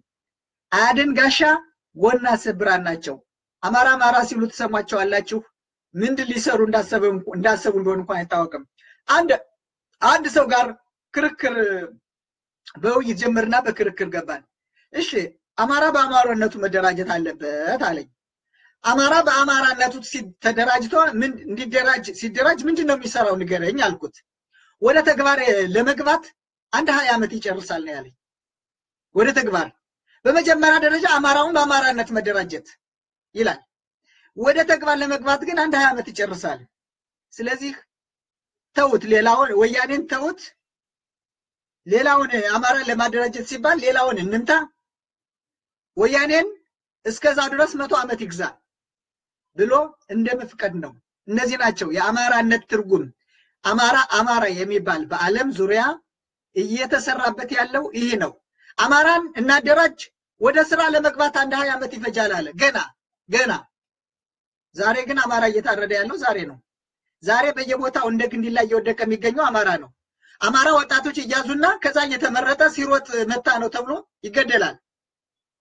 አማራ እየታፈሰ ወዴት እንደሚታሰር የማይታወቅበት ይህን አይነት የመሰለ ከባድ ጦርነት ውስጥ ያለ ህዝብ ዛሬ የአንድነት ኃይሉን የዛሬ የዛኛውን የኦሮሞውን ስለ ኦሮሞ ከዚህ ላይ ኢትዮጵያ ትፍረስ እያሉ ኦሮሞውን አንድነትን አይደግፍም ብለው ደግሞ ኦሮሞ ሲሳደቡ ታገኛቸዋለሁ። አንዱ ሰው አንዱ አማራ ነኝ ያለ ኢትዮጵያ ትፍረስ የሚል ነው። እንደገና ኦሮሞ ኢትዮጵያን ባንዲራ አልያዘም ብሎ ደግሞ በዛቸው አንደበቱ ሲሳደብ ታገኙታላቸው። ይህ ሁሉ ማጭበርበር ነው፣ ማጭበርበር ነው። የፈለገ በሉ የፈለገ እኔ ማንኛውም ሰው አንቅሮ ይጥፋይ። እውነት ስለሆነ የምናገረው እውነት በእውነት ስለ እውነት መሞት ኃጢአት አይደለም። እኔ ከትግራይ ከህዝባዊ ወያኔ ሓርነት ትግራይ ሰዎች ይልቅ ትልቅ የአማራ ጠላት አድርገው በክፉ አይን እያዩኝ ያሉና ብዙ ነገር ሙከራ እየተደረገ ያለው በአማራ አማራንን በሚሉ ነው። በጣም ነው የሚጠሉኝ፣ በጣም ነው የሚጠሉኝ። ምክንያቱም ምንድን ነው ለምሳሌ እኔ በጭልጋ አውራጃ ገበሬዎች ብሶታቸውን ሲናገሩ የሚያሳይ ቪዲዮ አግኝቼ ለጠፍኩ። ዳዊት ሚካኤል ዳዊት ሚካኤል ነኝ ያለ ከቤተ አማራ ዳዊት ሚካኤል የሚል በቤተ አማራ ውስጥ ገብታችሁ እዩት። የማይለጥፈው ነገር የለም። ከፍተኛ ስራው በፕሮፌሰር መስፍን ወልደ ማርያም ላይ ያለው ጥላቻ ጥላቻ የለውም። ገባ በጣም ተናዶ እና ከ post ኡ ጋር የማይገናኝ እኔን በመስደብ የተለያዩ የወንዶች ፎቶግራፍ በመለጠፍ ይሄ boyfriend ነው ይለኛል። የተለያየ ነገር በመለጠፍ ይህ ሰው አማራ ነኝ ብሎ ነው። ግን እኔ ስለ አማራዎቹ በአንደበታቸው በጭልጋ በኩል እየተፈጸመ ያለውን የአሁን ወቅታዊ ቪዲዮ በመለጠፈ ይህን አማራ ምን አናደደው? ምን አናደደው?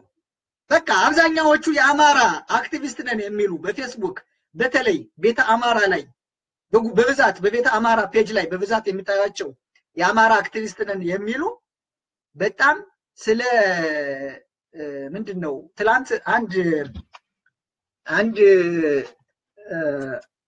አንድ እንትን ነበረ አንድ የሆነ ፖስት አድርጌ ነበር እና በጣም ተናደደብኝ እና ሰውየው ማን ነው የሚለው በጣም ነው የተናደደው እና እስከዚህ ድረስ ምንድን ነው የሚያናድዳቸው? እስከዚህ ድረስ ምንድን ነው የሚያናድዳቸው?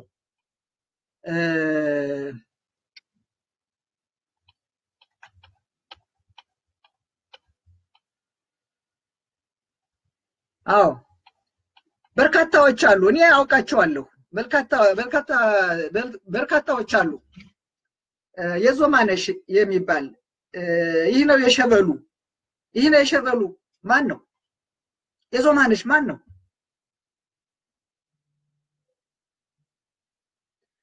ብዙ ቀልድ ነው የሚሰራ። ብዙ ብዙ በአማራው ስም አማራው የአማራ ወጣት የአማራ ወጣት sniper የታጠቀ አጋዚ ፊት ለፊት ወጥቶ ነው የሚሞተው። የአማራ አክቲቪስቶች ግን በውጭ ዓለም እየኖሩ ከ screen በስተጀርባ ነው። የዞማነሽ የሸበሉ የሸበሉ አያሌው መንበረ ነው ያለምንም ጥርጥር አያሌው መንበረ እንደወጣ እንደ ሌሎቹ በሞያሌ አይደለም የተሰደደው።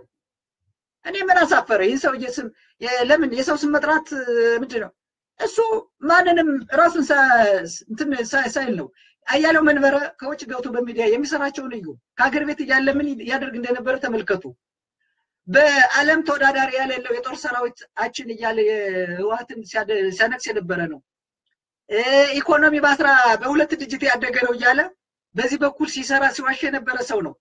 የተሰደደው እንደ ሌሎቹ በሞያሌ እና በሊቢያ መከራና ስቃይ አላለፈም። በቦሌ ነው የሚሰደዱት እነዚህ ሰዎች። ይህ ሰውዬ ከወጣ ግን መጀመሪያ የጀመረው በኢሳት ነው፣ በኢሳት ሚዲያ ላይ ነው። ለምን በህዋት ሰራ ኢትዮጵያ እያለ ህዋት በህዋት ውስጥ ሲያገለግል ኖር የሚለው አይደለም። እነ ኤርሚያስ ለገሰም በህዋት ውስጥ አገልግለዋል። ከሀገር ከወጡ በኋላ ግን የሚሰሩትን እያየን ነው። አያሌው መንበረ ከሀገር ወጥቶ ምንድን ነው የሚሰራው? ሙሉ ቀን ከሀገር እንደወጣ ምንድን ነው የሰራው? ምንድን ነው እየሰራ ያለው? በህዋት በኢሳት ላይ ባይኮት የጠራ ሰው ነው። እንዴት ነው አማራን በጎንደር የተጀመረውን ያን የህዝባዊ አመፅ የአማራ ተጋድሎ ነኝ ብሎ ከፊት ለፊት ወጥቶ ባለሰበር ዜና የሰበር ዜና ንጉስ የነበረ ሰው ነው። ማን ነው መረጃውን የሚሰጠው? ያ ከላይ በታች ብለው ያን የተነሳ ትግል አኮላሹት። ያ የአማራ ተጋድሎ የት ደረሰ? የጎንደር ያን ምድር አንቀጥቅጥ ተቃዋሚ ሰልፍ የኦሮሞ ደም ደሜ ነው ብሎ በመናገሩ የተጠለፈ ሲል ያወገዘ ሰው ነው። ባለፈው ሳምንት ባለፈው ሳምንት የቤት መቀመጥ አድማ ሲደረግ የተቃወመው የመጀመሪያው ተቃዋሚ ሆኖ የወጣው ሙሉቀን ተስፋው ነው። አያሌው መንበረ አልተጠራም ማለት ብቻም ሳይሆን በአድማው ወቅትም ያን አድማ የሚያንቋሽሽ ጽሁፎች ሁሉ ሲጽፍ ነበረ። በጣም በፍጹም ባህር ዳር ላይ የነበረ በፍጹም የለም ማዕቀቡ አልተካሄደም፣ እንዲህ አይነት ወሬ ነው እንዲህ በጣም የሚያጥላላ። ለምን እኒህ ሰዎች ዓላማቸው ምንድን ነው? ምን ለመስራት ነው የፈለጉት? በተለይ አያሌው መንበረ ከወጣ በኋላ ትልቁ ስራ ተጠምዶበት የኖረው ኢሳትና በኢሳት ሚዲያ እና በኢሳት ሚዲያ በሚሰሩት ጋዜጠኞች ላይ ነው። በተደጋጋሚ በተደጋጋሚ በኢሳት ጋዜጠኞች ላይ በተራ ስብዕናቸውን ሳይቀር እየወረደ ሲሳደብ የኖረ ሰው ነው። ይህ ሰው እንዴት ነው ጋዜጠኛ ነኝ ብሎ በሞረሽ ወገን የሚሰራው ደምስ በለጠ ማን ነው? ደምስ በለጠ ምንድን ነው የሚሰራው? ምን እየሰራ ነው? ምንድን ነው የሚያስተጋባው? ከትግል የወጡ ከአርበኞች ግንቦት ሰባትና አርበኞች ሲዋሄዱ ጀምሮ የተካሄደው ዘመቻ አሁን የጀመረ አይደል። ደምስ በለጠ ከትግል ያፈነገጠውን ሰው በሬዲዮ ጣቢያው ቃለመጠይቅ ማድረግ አሁን አይደለም የጀመረው። ወደ ኤርትራ አርበኞች ግንባርን እንደግፋለን ብሎ እሱና ኤልያስ ክፍሌ፣ ሰሎሞን ተካልኝ ሶስቱ ወደ ኤርትራ ምድር የአርበኞች ግንቦት ሰባት አባል ነን ብለው ወርደው ነበር። ኤርትራም ተቀብላ አስተናግዳ መልሳቸዋለች። ልክ ከኤርትራ እንደተመለሱ ግን ዘመቻ የከፈቱት በማን ነው? በኤርትራውያን ላይ ነው። ያን ከሞት ከህዋት መንጋጋ አምልጠው ወደ ኤርትራ ምድር የገቡትን ሰዎች መታገል ከፈለጋችሁ ይኸውላችሁ ሜዳው ታገሉ ተብለው መደራጀት ትችላላችሁ ተብለው የተቀመጡትን ኤርትራውያን በኤርትራ ምድር የሚኖሩት ኢትዮጵያውያን እንዲፈርሱ ታላቅ ሴራ፣ ቀላል አይደለም። ህዋት ገንዘብ አለው፣ አቅም አለው። እነዛን በሜዳ በጫካ ያሉትን ሰዎች በገንዘብ እስከ መደለል የተሄደበት ነው። አርበኞች ግንቦት አርበኞች ግንባር ፈርሷል እያሉ ሲዘምሩ ነበር። ሰለሞን ተካልኝ በኤርትራ ምድር የዘፈነውና ከኤርትራ ምድር ከወጣ በኋላ ጸረ ኤልያስ ክፍሌ በኤርትራ ላይ የጀመረው ዘመቻ ቀላል አልነበረም። እነዚህ ሰዎች ገና ግንቦት ሰባት ከመፈጠሩ በፊት አርበኞች ግንባርን ለማጥፋት ነበር ወደዛ የሄዱት።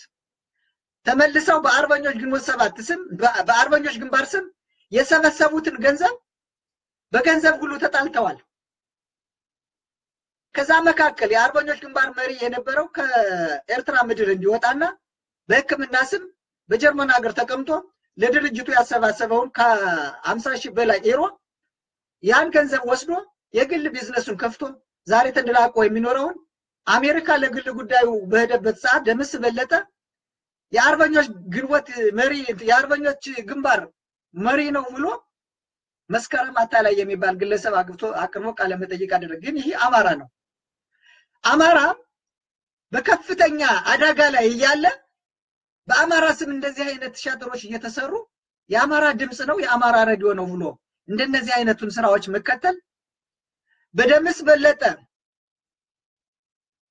ሬዲዮ ጣቢያ በሞረሽ ወገኔ ሬዲዮ ጣቢያ ስም የተቋቋመው ሳምራዊት ሲሳይ የምትባል የአርበኞች ግንቦት ሰባት ውስጥ የምትሰራ ኤርትራ ነበረች።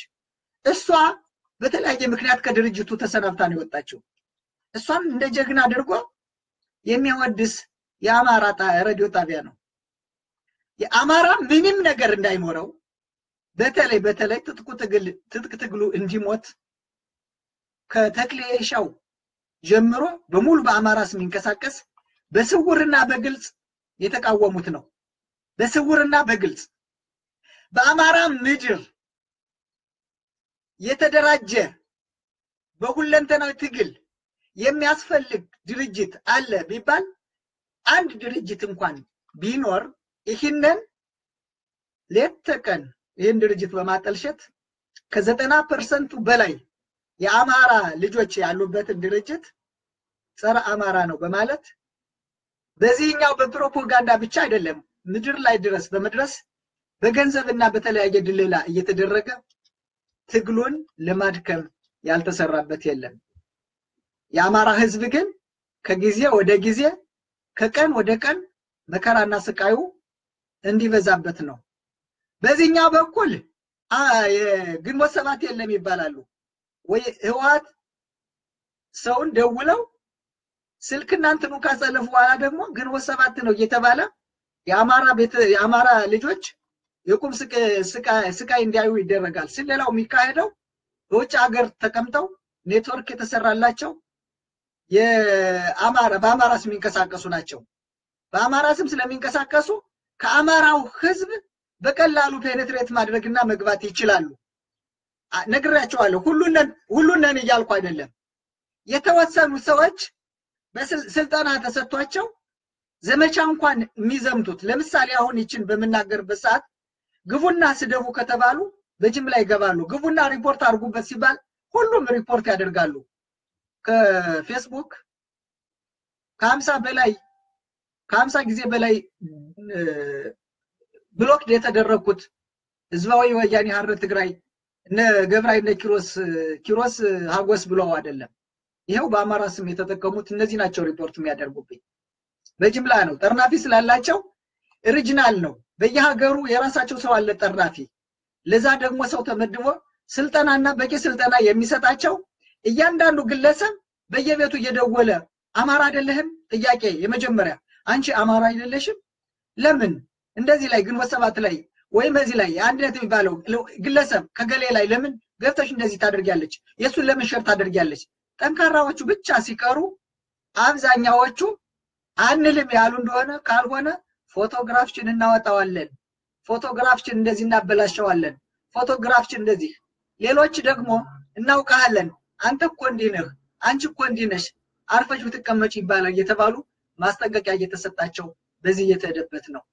ትልቁ ትልቁ የአንድነትም ሆነ የጸረ ህዋት ትግል እንቅፋት እየተፈጠረብን ያለን በመጨረሻው ሰዓትም በአሁኑ ሰዓት ሁሉም ኦሮሞው፣ አማራው ሁሉም ኢትዮጵያዊ ነን በሚልበት ሰዓትም አሁንም ስልታቸውን እንደ እስስት እየቀያየሩ በተለይ በተለይ ትግል ለመግደል የማይደረግ ነገር የለም። ሁላችንም እንንቃ፣ ሁላችንም እንንቃ። አማራ አማራ በዚህ መልኩ አይደለም መደራጀት ያለበት። አማራ በአማራነቱ መደራጀት ቀርቶ በእድርም መደራጀት ድርጅት ወሳኝ ነው፣ መወያያ ነው፣ መድረክ ነው። በ group በፌስቡክ group በመፍጠር በመወያየት እንዴት ነው ነገሩ ብሎ መነጋገር ይቻላል ይቻላል። ይህ ግን ይህ ግን እገሌ ጸረ አማራ ነው እገሌ እንትን ነው የብሎ ሲወራ ለምን እንዴት ብለን መጠየቅ አለብን። ማንም ለአማራ ጠላት የለውም ካለ ትግሬው ነፃ አውጭ በስተቀር ህዝባዊ ወያኔ ሓርነት ውጭ ለአማራ ምንም ጠላት የለውም። ለአማራ አማራ የሰራው ነገር የለም። አማራ በስሙ የማንንም ደም አላፈሰሰም። አማራ የማንንም ሀብት አልዘረፈም። የአማራ ግዛት የሚሉት የአማራ አማራ ግዛት አማራ ነው። ደርግን የአማራ ነው ጨቋኝ አማራ ነው ይሉታል። መንግስቱ ኃይለማርያም የማን ልጅ እንደሆነ መንግስቱ ኃይለማርያም ማን እንደሆነ ወንድሙ ወንድሙ በቅርብ ቀን በቃለ መጠይቅ ተደርጎለታል በአንድ ቦታ እና በፍጹም አማራ አይደለም አማራ አይደለም። ግን ሁሉም ነገር ለአማራ ሲሰጠው ያንን ደግሞ ጀስቲፋይ የሚያደርጉ አሉ። የአማራ እንቅስቃሴ እንመራለን የሚሉ ኤርትራ እንኳን አሁን አንዱ ምን ይላል ጎጃም ላይ ጥለው የወደቁትን ሰውዬ ኤርትራና ትግራይ ሲረፈርፍ ነበረ ብሎ ተመልከቱ። እንግዲህ የደርግን የደርግን አገዛዝ የአማራ ብቻ እንደሆነ ለማድረግ ነው። ግን አማራ ነው። የደርግን አገዛዝ የአማራ እንደሆነ አድርገው የሚናገሩ አማራዎችን ትሰማለህ። ይሄ ሳያስቡት እንዳይመስላችሁ እንደዛ እንዲሉ ተደርገዋል። ለዚህ ነው ለምንድን ነው ለአማራ ለአማራ መታገል ኮድ የሆነው? ለምንድን ነው ስማቸው ለአማራ መታገል በፎቶግራፍ ወይም እንደኔ እንደዚህ ወጥተው ለምን ነው መናገር የማይፈልጉት? ከበስተጀርባው ከበስተጀርባ ድብቅ ሴራ ስላለ ነው። ትግሉን ትግሉን አንድ ትግል ይጀመራል። ያ ትግል ይፋ መሆን አለበት ይፋ መሆን አለበት። ቢሞትም ቢድንም ትግሉ ድል ድል ማድረግ ብቻ አይደለም የሚጠበቅበት። ሊሸነፍ ይችላል። በጦር ሜዳ ላይ ማሸነፍ መሸነፍም አለ። ስለዚህ ግን እነሱ የማያምኑበት ትግል መሆኑን የምታውቁት ተደብቀው ነው። ተደብቀው ተደብቀው ሚናግ ነገ የሚሆነውን አያውቁማ። እገላቴ ይህን ተናግሯል። ለምሳሌ ለአማራው የሚታገሉ ከሆነ አንድ አስር አይሆኑም። እንደ ህፃን ጥርስ አልፎ አልፎ የተተከሉ አንድ አስር ብቻ ናቸው አማራ አክቲቪስቶች የምናውቃቸው። እነዚህ እነዚህ ተጠቃሚዎች ስለሆኑ ራሳቸውን ሳክሪፋይ ማድረግ ይችላሉ። የመጣውን መቀበል ይችላሉ። ግልጽ ወጥተዋል። ግን የሚሰሩት የእነሱ ተከታይ ተብለው ግን አብዛኛዎቹ የህወሓት ቤተሰቦች ናቸው።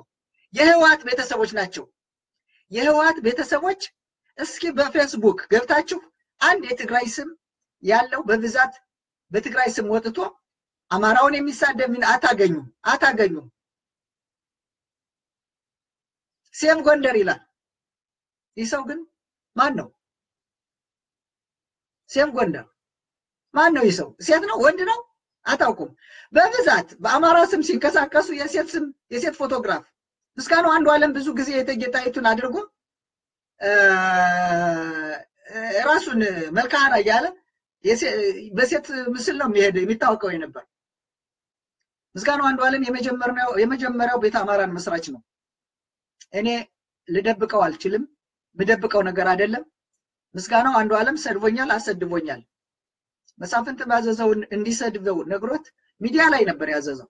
መሳፍንት ተወኝ ነው ያለው። ተወኝ፣ እሱን አልሰድበውም። መሳፍንት መሳፍንትን ጎቶ ወደ ቤተ አማራ ያስገባ ምስጋናው አንዱ ዓለም ነው። ሊዲያ ዘውዱንም እንዲሁ ብዙዎች ናቸው። በሀገር ቤትም ያሉ አባላት አሉ። እንደ እንደ ማን ጋሻው መርሻ ጋሻው መርሻ ቤተ አማራን አብሮ ያቋቋመ ነው። ግን ኢትዮጵያ ሆኖ ኢትዮጵያ እያሉ እሾህ እንቅፋት ነክቷቸው የማያውቁ ናቸው። የአማራ ቤተ አማራ መስራችና አባላት የነበሩ ከጋዜጠኞችም አሉ የማውቃቸው፣ ከፖለቲካ መሪዎችም አሉ። የተለያየ የፖለቲካ ድርጅት ገብተው በቤተ አማራ ውስጥ የቤተ አማራን የሚደግፉ ለምን ቤተ አማራን ትቃወማለህ የሚሉኝ ኢትዮጵያ ውስጥ የፖለቲካ ፓርቲ መሪ የነበሩ አሉ።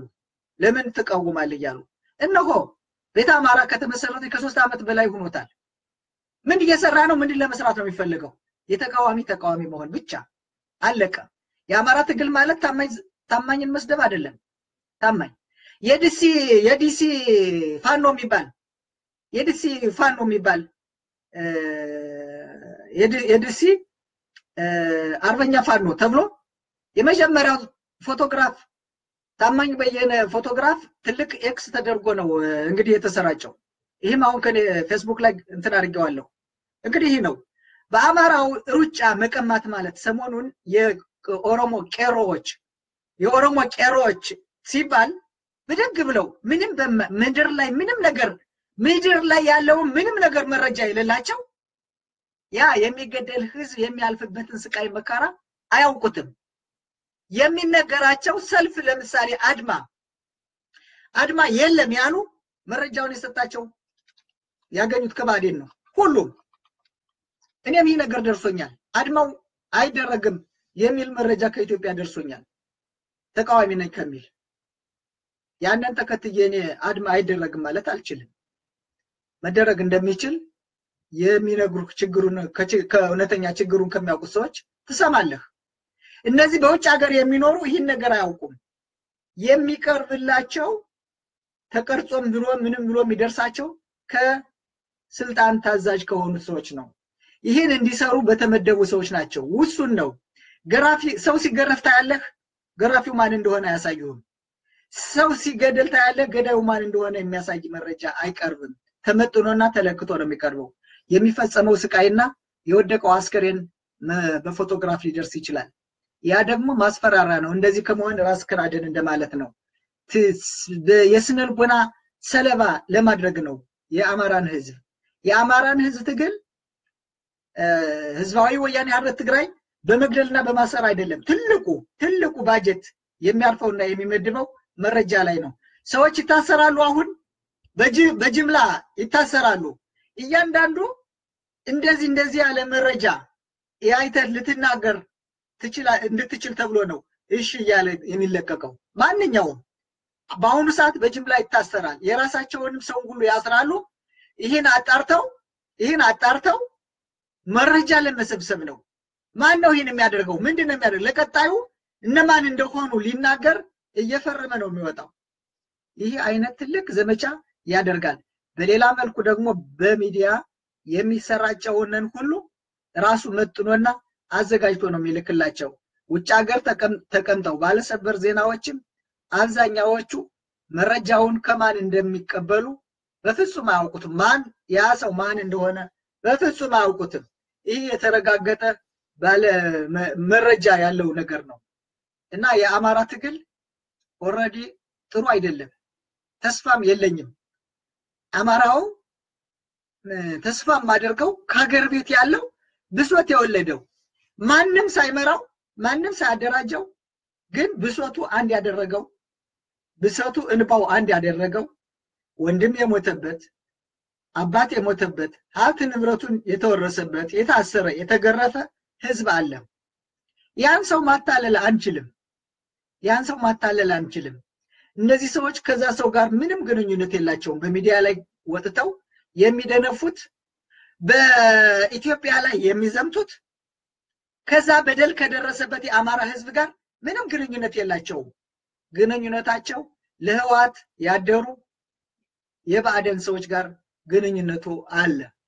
ያ ነው እንግዲህ አማራው እንዳይደራጅ ትልቁ ትልቁ ትልቁ ትልቁ ቀንበር ብአዴን የሚባል አለ።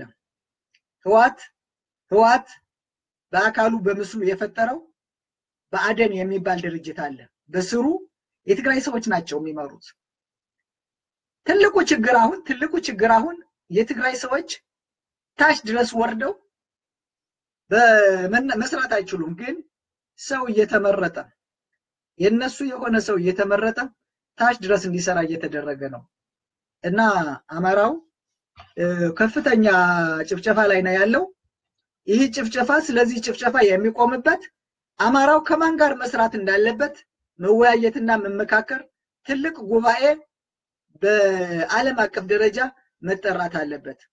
እዚህ በፊት አማራንን እያሉ ይህን ሁላ የሚሰሩ ሰዎች በፍጹም በእነሱን የጠቀለለ የአማራ ድርጅት ቢመጣ በፍጹም ተቀባይነት የለውም። እንደኔ እንደኔ እንደኔ እስካሁን አማራ እያሉ የሚሰሩ ሰዎች በፍጹም በእነሱ በኩል አማራ የሚሆን ምንም ነገር አይመጣም።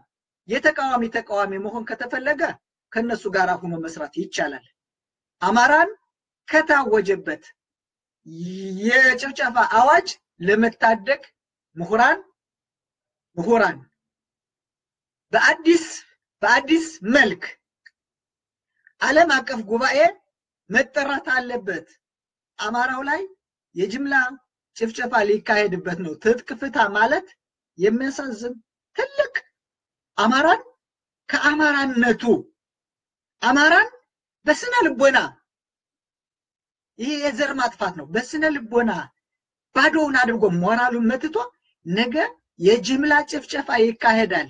መሬት ወረራ ይካሄዳል። ሰፋሪዎችን መጨፍጨፍና ማሰደድ ይመጣል። ይሄ የማይቀር የመጨረሻ የህወሓት እስትንፋስ እስካልቆመ ድረስ የማይቀር ነገር ነው። ልንቃወመው ይገባል። ይህ ማሳሰቢያ ነው፣ ማሳሰቢያ ነው። መሳሪያን አማራን ትጥቅ ማስፈታት፣ ባዶ እጅ እንደ ሴት ማድረግ ትልቁ አማራን የመግደያ የስነ ልቦና አማራን የማጥፋት ትልቁ በእምነቱ በባህሉ በብዙ ነገር ገብተውበታል። ይህ ግን የፈርተውት አስቀድሞ ሌሎች ነገሮች እስቲስተካከል ብለው ለመጨረሻ ያወጡት እቅድ ነበር።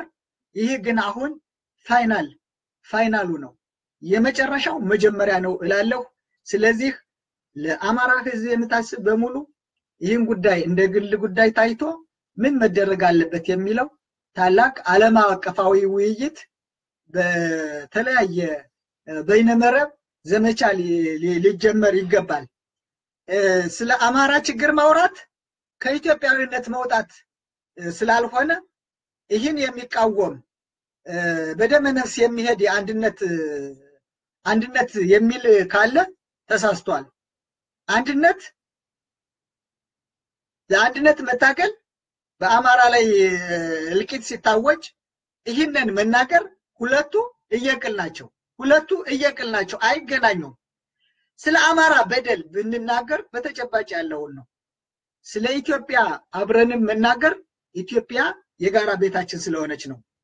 ስለዚህ ለምን አማራ የሚለውን ተውና ኢትዮጵያ በል የሚል ካለ ነገሩ ያልገባው ሳያስበው ሳይገነዘበው ለህወሀት የአማራ ብሶት የተሸፈነበት ትልቁ ምክንያት ይህ ነው። የአማራ ምሁራን ወጥተው ስለ አማራ ጉዳይ ለመወያየት ያልቻሉበት ምክንያት ከኢትዮጵያዊነት ወጥተዋል እንዲባል ነው። ስለ አማራ በደል የሚናገሩት ይህ ደግሞ እንደ ወያኔ ይላል። አይደለም፣ አይደለም። ወያኔ የሚሰራቸውን ስራዎች ሁሉ በአማራዎች ይገለጻል። የህወሓት ጸረ ኢትዮጵያዊነት የሚገለጸው በአማራ ህዝብ ላይ ለምን ለምን ጦርነት አወጀ የሚለው ነው። ኢትዮጵያዊነት አማራ ለምንድን ነው የሚገደለው ብሎ ማሰብ ነው። አማራ አንድ የትግሬ ጠላይ የትግሬ ደም አፍሶ አያውቅም። ተከዜ ማዶ ተሻግሮ አያውቅም። አማራ ለምንድን ነው የትግሬ ጠላት የተባለው? ኢትዮጵያ የምትለውን ሀገር ለማጥፋት ታላቋን ትግራይ ለመመስረት አማራ የሚባል ቢቻል ማጥፋት ካልሆነ እናዳከመው ተብሎ ነው። ማዳከም እዚህ የበለጠ ማዳከም የለም። ማዳከሙ ተግባራዊ አድርገውታል። በጎንደር በኩል በጎንደር በኩል ከባህል ከባህል ጀምሮ ሴቶች እንኳን ሹሩባ የሚሰሩት አይቸው የማላውቅ በልጅነቴ የማላውቀው ዛሬ በጎንደር ሴቶች የሚሰሩት ሹሩባ ጭራሽ አይቸው የማላውቀው ነው። አብዛኛዎቹ ወደ ራሰ በራነት የተቀየሩ ሴቶችን ታያላችሁ። በብዛት ያን ሹሩባ የሚሰሩት ወደኋላ እንደ ፈረስ ጭራ ጠፍንጎ የሚይዘው ግንባራቸው ቆዳ ተስቦ ወደኋላ የሚሄደው አብዛኛዎቹ እኔ በስም አልጠቅስም፣ ገና በወጣትነታቸው የሴት ባለበራዎችን ሁሉ ታያለህ። ወደኋላ ነው የሚቆነኑት እንደ ፈረስ ጭራ።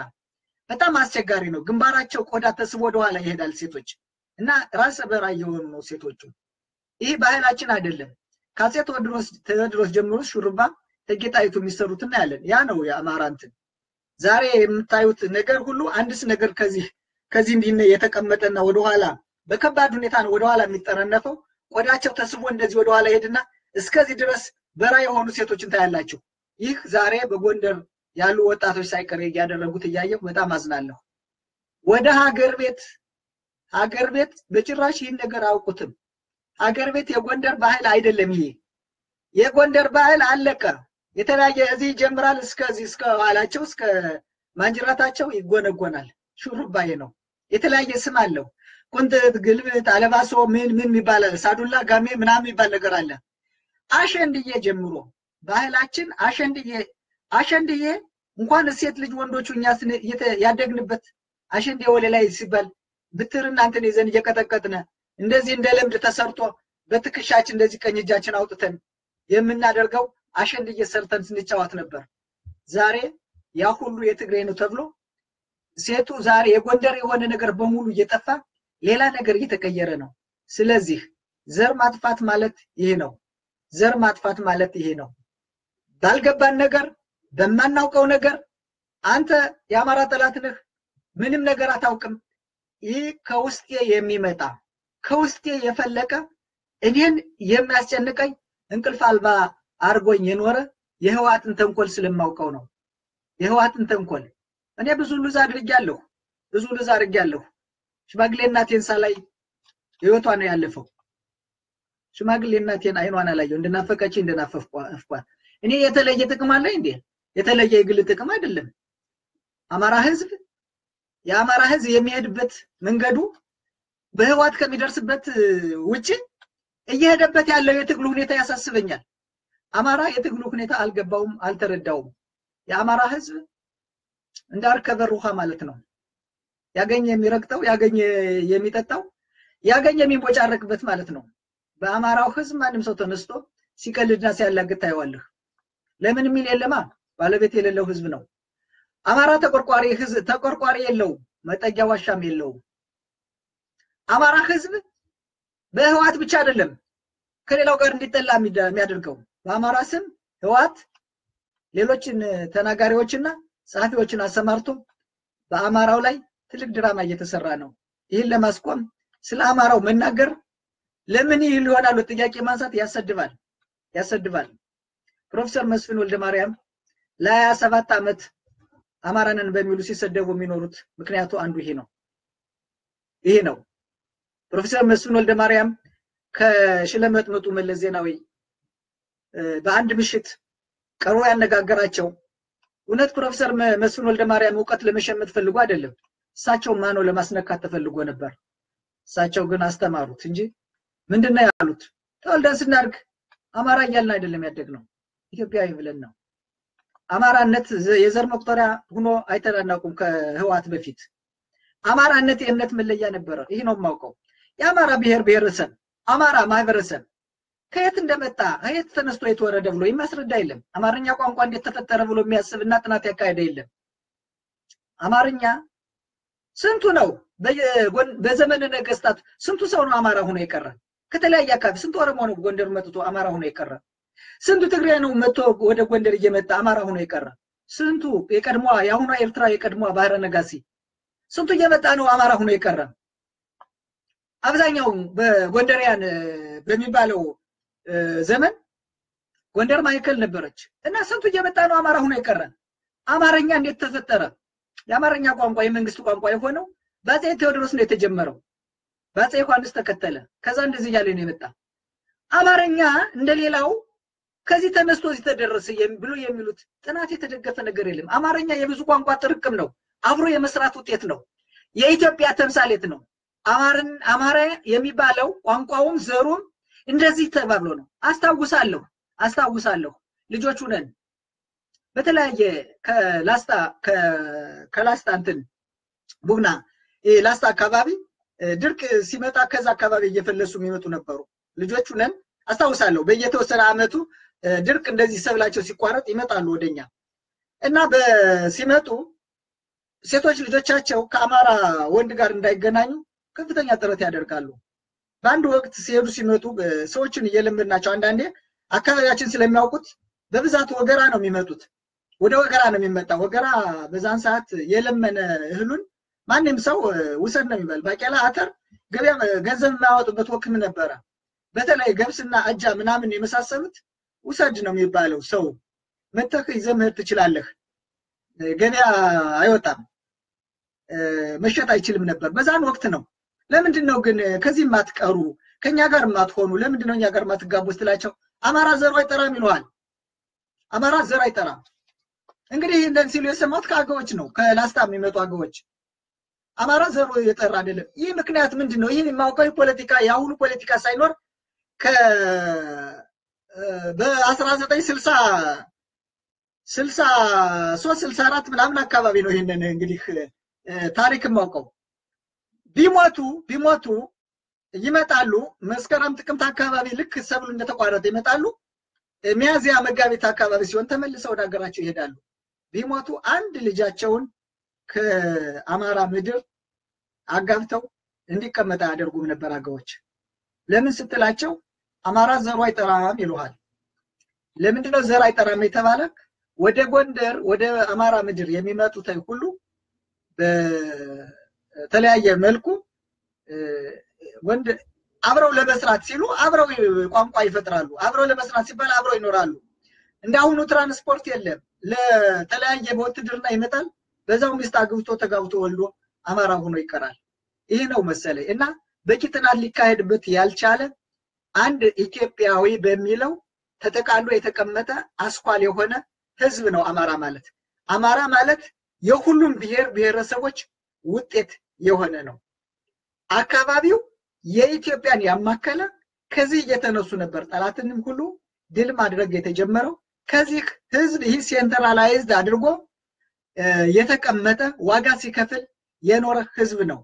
የአማራ ህዝብ ታሪክ የሁሉም ታሪክ ነው። የትግሬው፣ የኦሮሞው፣ የአፋሩ፣ የጎንደር ታሪክ የጎንደር አብያተ ነገስታት የሁሉም ህዝብ ውጤት ነው። እያየን እያንዳንዱ ነገስታት በነገሱበት ዘመን ዜና መዋዕል የሚባል በግዕዝ የተጻፋላቸው ዜና መዋዕል በዜና መዋዕላቸው የተቀመጠ አለ። እቴጌ ምንትዋብ በጎንደር እንግዲህ ታላቅ አመራር የሰጡ ሴት ናቸው። በእሳቸው ዘመን እንግዲህ የመጨረሻው እንደማለት ነው አካባቢ ማለት ነው። የጎንደር እንትን ራስ ስሁል ሚካኤል የጎንደርን ማዕከላዊነት ካፈረሱት ወደ ዘመነ መሳፍንት ከመቀየራቸው በፊት አለመታደል ሆኖ ራስ ሚካኤል ስሁል የመጡትም ወደ ትግራይ ነው። እሳቸው እስከበተኑት ድረስ በጎንደር ማዕከላዊ ሆኖ ሰርቷል። በዘመነ እቴጌ ምንትዋብ ሰራዊታቸው በሙሉ የተገነባው ከኦሮሞ ህዝብ ነበር ይባላል። የኦሮም የጎንደር ወይዛዝርት የኦሮሞን ጀግኖች እንዲያገቡ በአዋጅ የተመከረበት ጊዜ ነበር በእቴጌ ምንትዋብ ዘመን። በተለይ በተለይ ጎንደር በጎንደር በኩል የትምና ከየትም ጀግና ከሆንክ የጎንደር ወይዛዝርቶች መርጠው የሚያገቡህ አንተን ነው የነበረው። ለፈሪ መቀነት አልፈታም። ለፈሪ ሚስት ከመሆን ለጀግና በእቁባት ልሁን። እቁባት ማለት አምስተኛ ስድስተኛ ደረጃ ሚስት ሁኜ የጀግና አለኝ ብዬ ልኩራበት የሚባልበት ባህል ነበረ በጎንደር እስከ ደርግ እስከመጣ ድረስ ይሄ ነገር እንደነበረ በተረት ለፈሪ ሚስት አልሆንም የሚሉት ሴቶች ነበሩ። ጀግና ሴቶች ነበሩ በጎንደር በኩል ባህል ይህ ባህል ይህ ባህል የጎንደር ባህል ብቻ ተደርጎ ጎንደር ላይ ተግባራዊ የሆነበት ማዕከል ስለነበረች ነው። ጎንደር ማዕከል ስለነበረች ነው እንጂ እግዚአብሔር ያሳያችሁ። ዘመቻ መጣ ሲባል ሰው በደስታ የሚቀበልበት እኮ ነው። ሞት የሰለጠነ ከአውሮፓ ተሻግሮ የመጣ በዘመናዊ ጦር መሳሪያ ታጅቦ የመጣን ጠላት ሰዎች ያለምንም ቅስቀሳ ፕሮፓጋንዳ ያለ ጠርናፊ ያለ ደሞዝ ያለ ስንቅ ወደ ሞት ሲሄዱ ገና የአስር ዓመት ልጁንን ሸለላ ከነሸለላው አስከትሎ የሚሄድ አዛውንት ነበር። ራሱን ብቻ ሳይሆን ልጁንም አስከትሎ ልጆች ሳይቀሩ ሴቶች ሁሉ ወደ ዘመቻ የሚሄዱበት ዘመን ነበር። ያ ሁሉ ኢትዮጵያዊነት በአናቱ በአናቱ እንዲቆም ያደረገው የፈረንጅ ትምህርት ወደ ኢትዮጵያ ከገባ በኋላ ነው። ይህም ስል ትምህርትን መቃወሚያ አይደለም።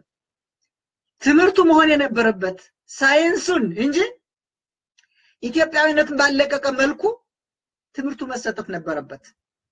ኢትዮጵያዊነት እንደ ኋላ ቀር ተፈርጆ ኢትዮጵያዊነት የጀግኖች የቅድመ አያት ታሪኮቻችን ኋላ ቀር ተደርጎ ስለ ራሽያ revolution፣ ስለ ማርክሲዝም ሌኒኒዝም የኢትዮጵያን ሕዝብ ማህበራዊ ህይወት እሴት እምነት ያላገናዘበ በወረቀት ብቻ የተጻፈ የፈረንጅ arrogant ስራ ሲያጡ የጻፉትን መጽሐፍ ተነቦ ኢትዮጵያን በአናቱ ያቆመ የስልሳ ዓመት ታሪክ አዲሱ ትውልድ አራዳነት በሚል ቅጽል ስም የተስፋፋ ከገጠሩ እጅግ የራቀ ከዘጠና ዘጠኝ percent በላይ የገጠሩን ህዝብ ያገለለ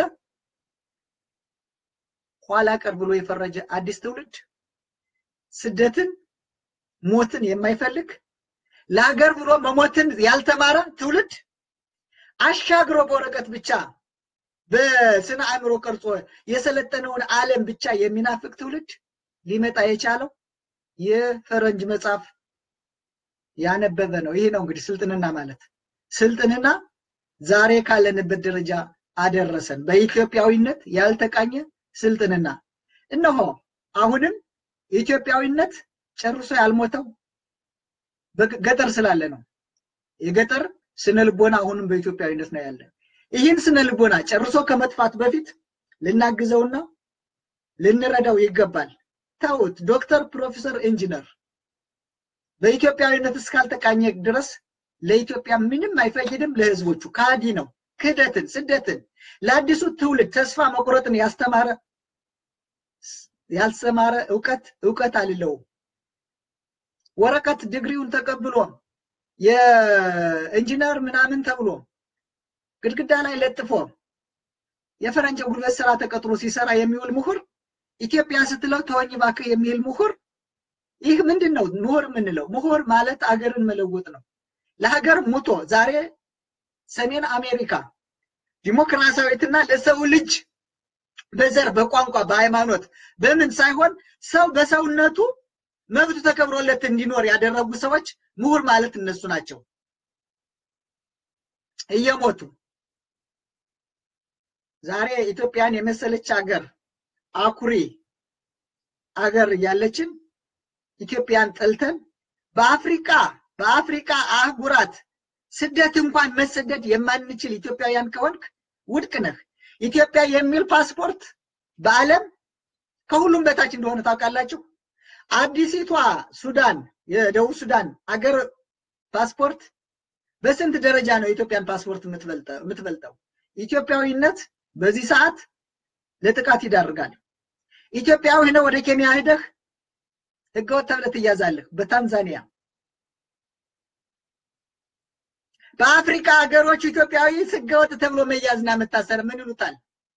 ሱዳናውያን በፈለጉ ሰዓት ኢትዮጵያ ውስጥ ገብተው የቀድሞ የሶማሌ ስደተኞች ኢትዮጵያ ውስጥ ገብተው ተዝናንተውና መብታቸው ተከብሮ ሲኖር ኢትዮጵያውያን ኬንያ ሲገቡ ህገወጥ ተብለው ይታሰራሉ፣ ይደበደባሉ፣ ተይዘው ታንቀም ወደ ሀገር ቤት ይመለሳሉ።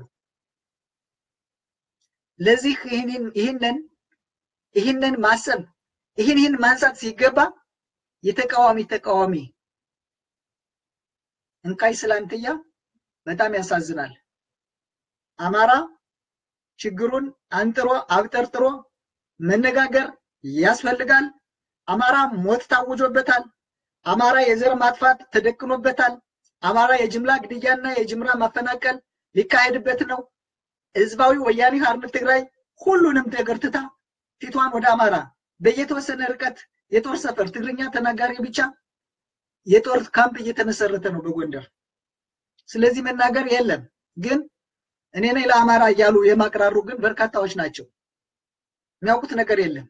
በየተወሰነ በየተወሰነ ቁልፍ ቁልፍ ቦታ በሚባለው ቦታ ካምፕ እየተሰራ ነው። ትግራይ የትግራይ ሰራዊት ስልጠናውም ትጥቁም በዘር ጥላቻ በጸረ አማራ ስልጠና የተሰጠው ታጥቆ ያችን ቀን የሚጠባበቅ ግዙፍ ሰራዊት በትግርኛ ቋንቋ ብቻ የተቀናጀ ከገበሬ ከሴት እስከ ወንድ ድረስ ትምህርት የሰለጠነው በጥላቻ ያደገ ተጎትኩቶ በነ አይታችኋል። መምህር ገብረ ኪዳን ይባላሉ። መምህር ይሏቸዋል። መምህር ገብረ ኪዳን እኒህ ሰውዬ የሚናገሩት ነገር ጎይቶም ገብረ አናንያ የሚባል እና ዶክተር ነው ይባላል። የመምህር ገብረ ኪዳን አገላለጽ ድብቅ ሳይሆን በቃ ያው የማህራ የቄስ ትምህርት ቤት ነበርኩበት አውቋለሁና የደጅ ሰላም ተንኮልና ስስት እንትን አለ። ሰውየው በዛ የተገረፉ ስለሆነ የዛ አይነት እንትን ነው ጥላቻቸውም ያ ተንኮል የደጀ ሰላም ተንኮል አይነት ነው የሚያስተምሩት። ጥላቻቸው የለበሰ አይደለም። ገብረ አናንያ ጎይቶም ገብረ አናንያ የሚባለው ግን የሚያስተላልፈው መልእክት ህወሓት ሊያደርገው ብዙ ዓመት ወደ ስተፊቱን እቅድ የሚነድፈው ይመስለኛል። በጣም አደገኛ ነው። ስለ መምህር ስዩም መምህር ስዩም ተሾመ ጥቅምት በጥቅምት ወር አካባቢ ነበር።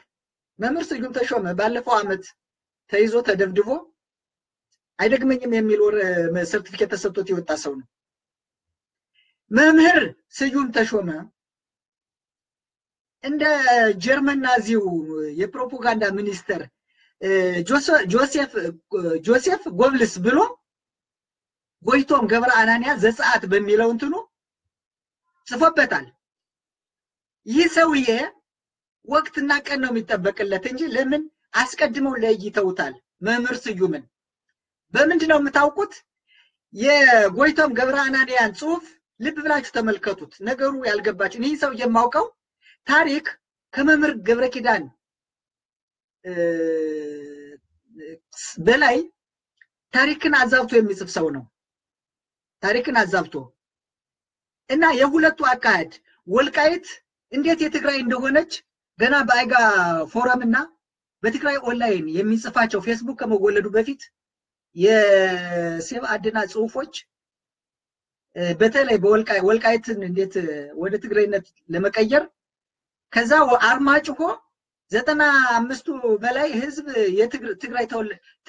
ትግራይ ነው ብሎ የጻፈ ሰው ነው እና ምን ቀጣዮቹ ምን ሊሆኑ እንደሚችሉ የእሱን ጽሁፍ በማየት ትናገራላችሁ። አሁን ስለተጀመረው እንትን የሚጽፋቸውን ነገሮች ሁሉ ተመልከቱ። የማይገባበት የለም። እንደ በረከት ስምኦን በስፖርቱ ይገባል፣ ዓለም አቀፍ ሚዲያ ይገባል። በተለያየ የመምህር ገብረ ኪዳን ደስታና የጎይቶም ገብረ አናንያ አቀራረቡ ነው። smart በሆነ ነው ሰው የሚያቀርበው።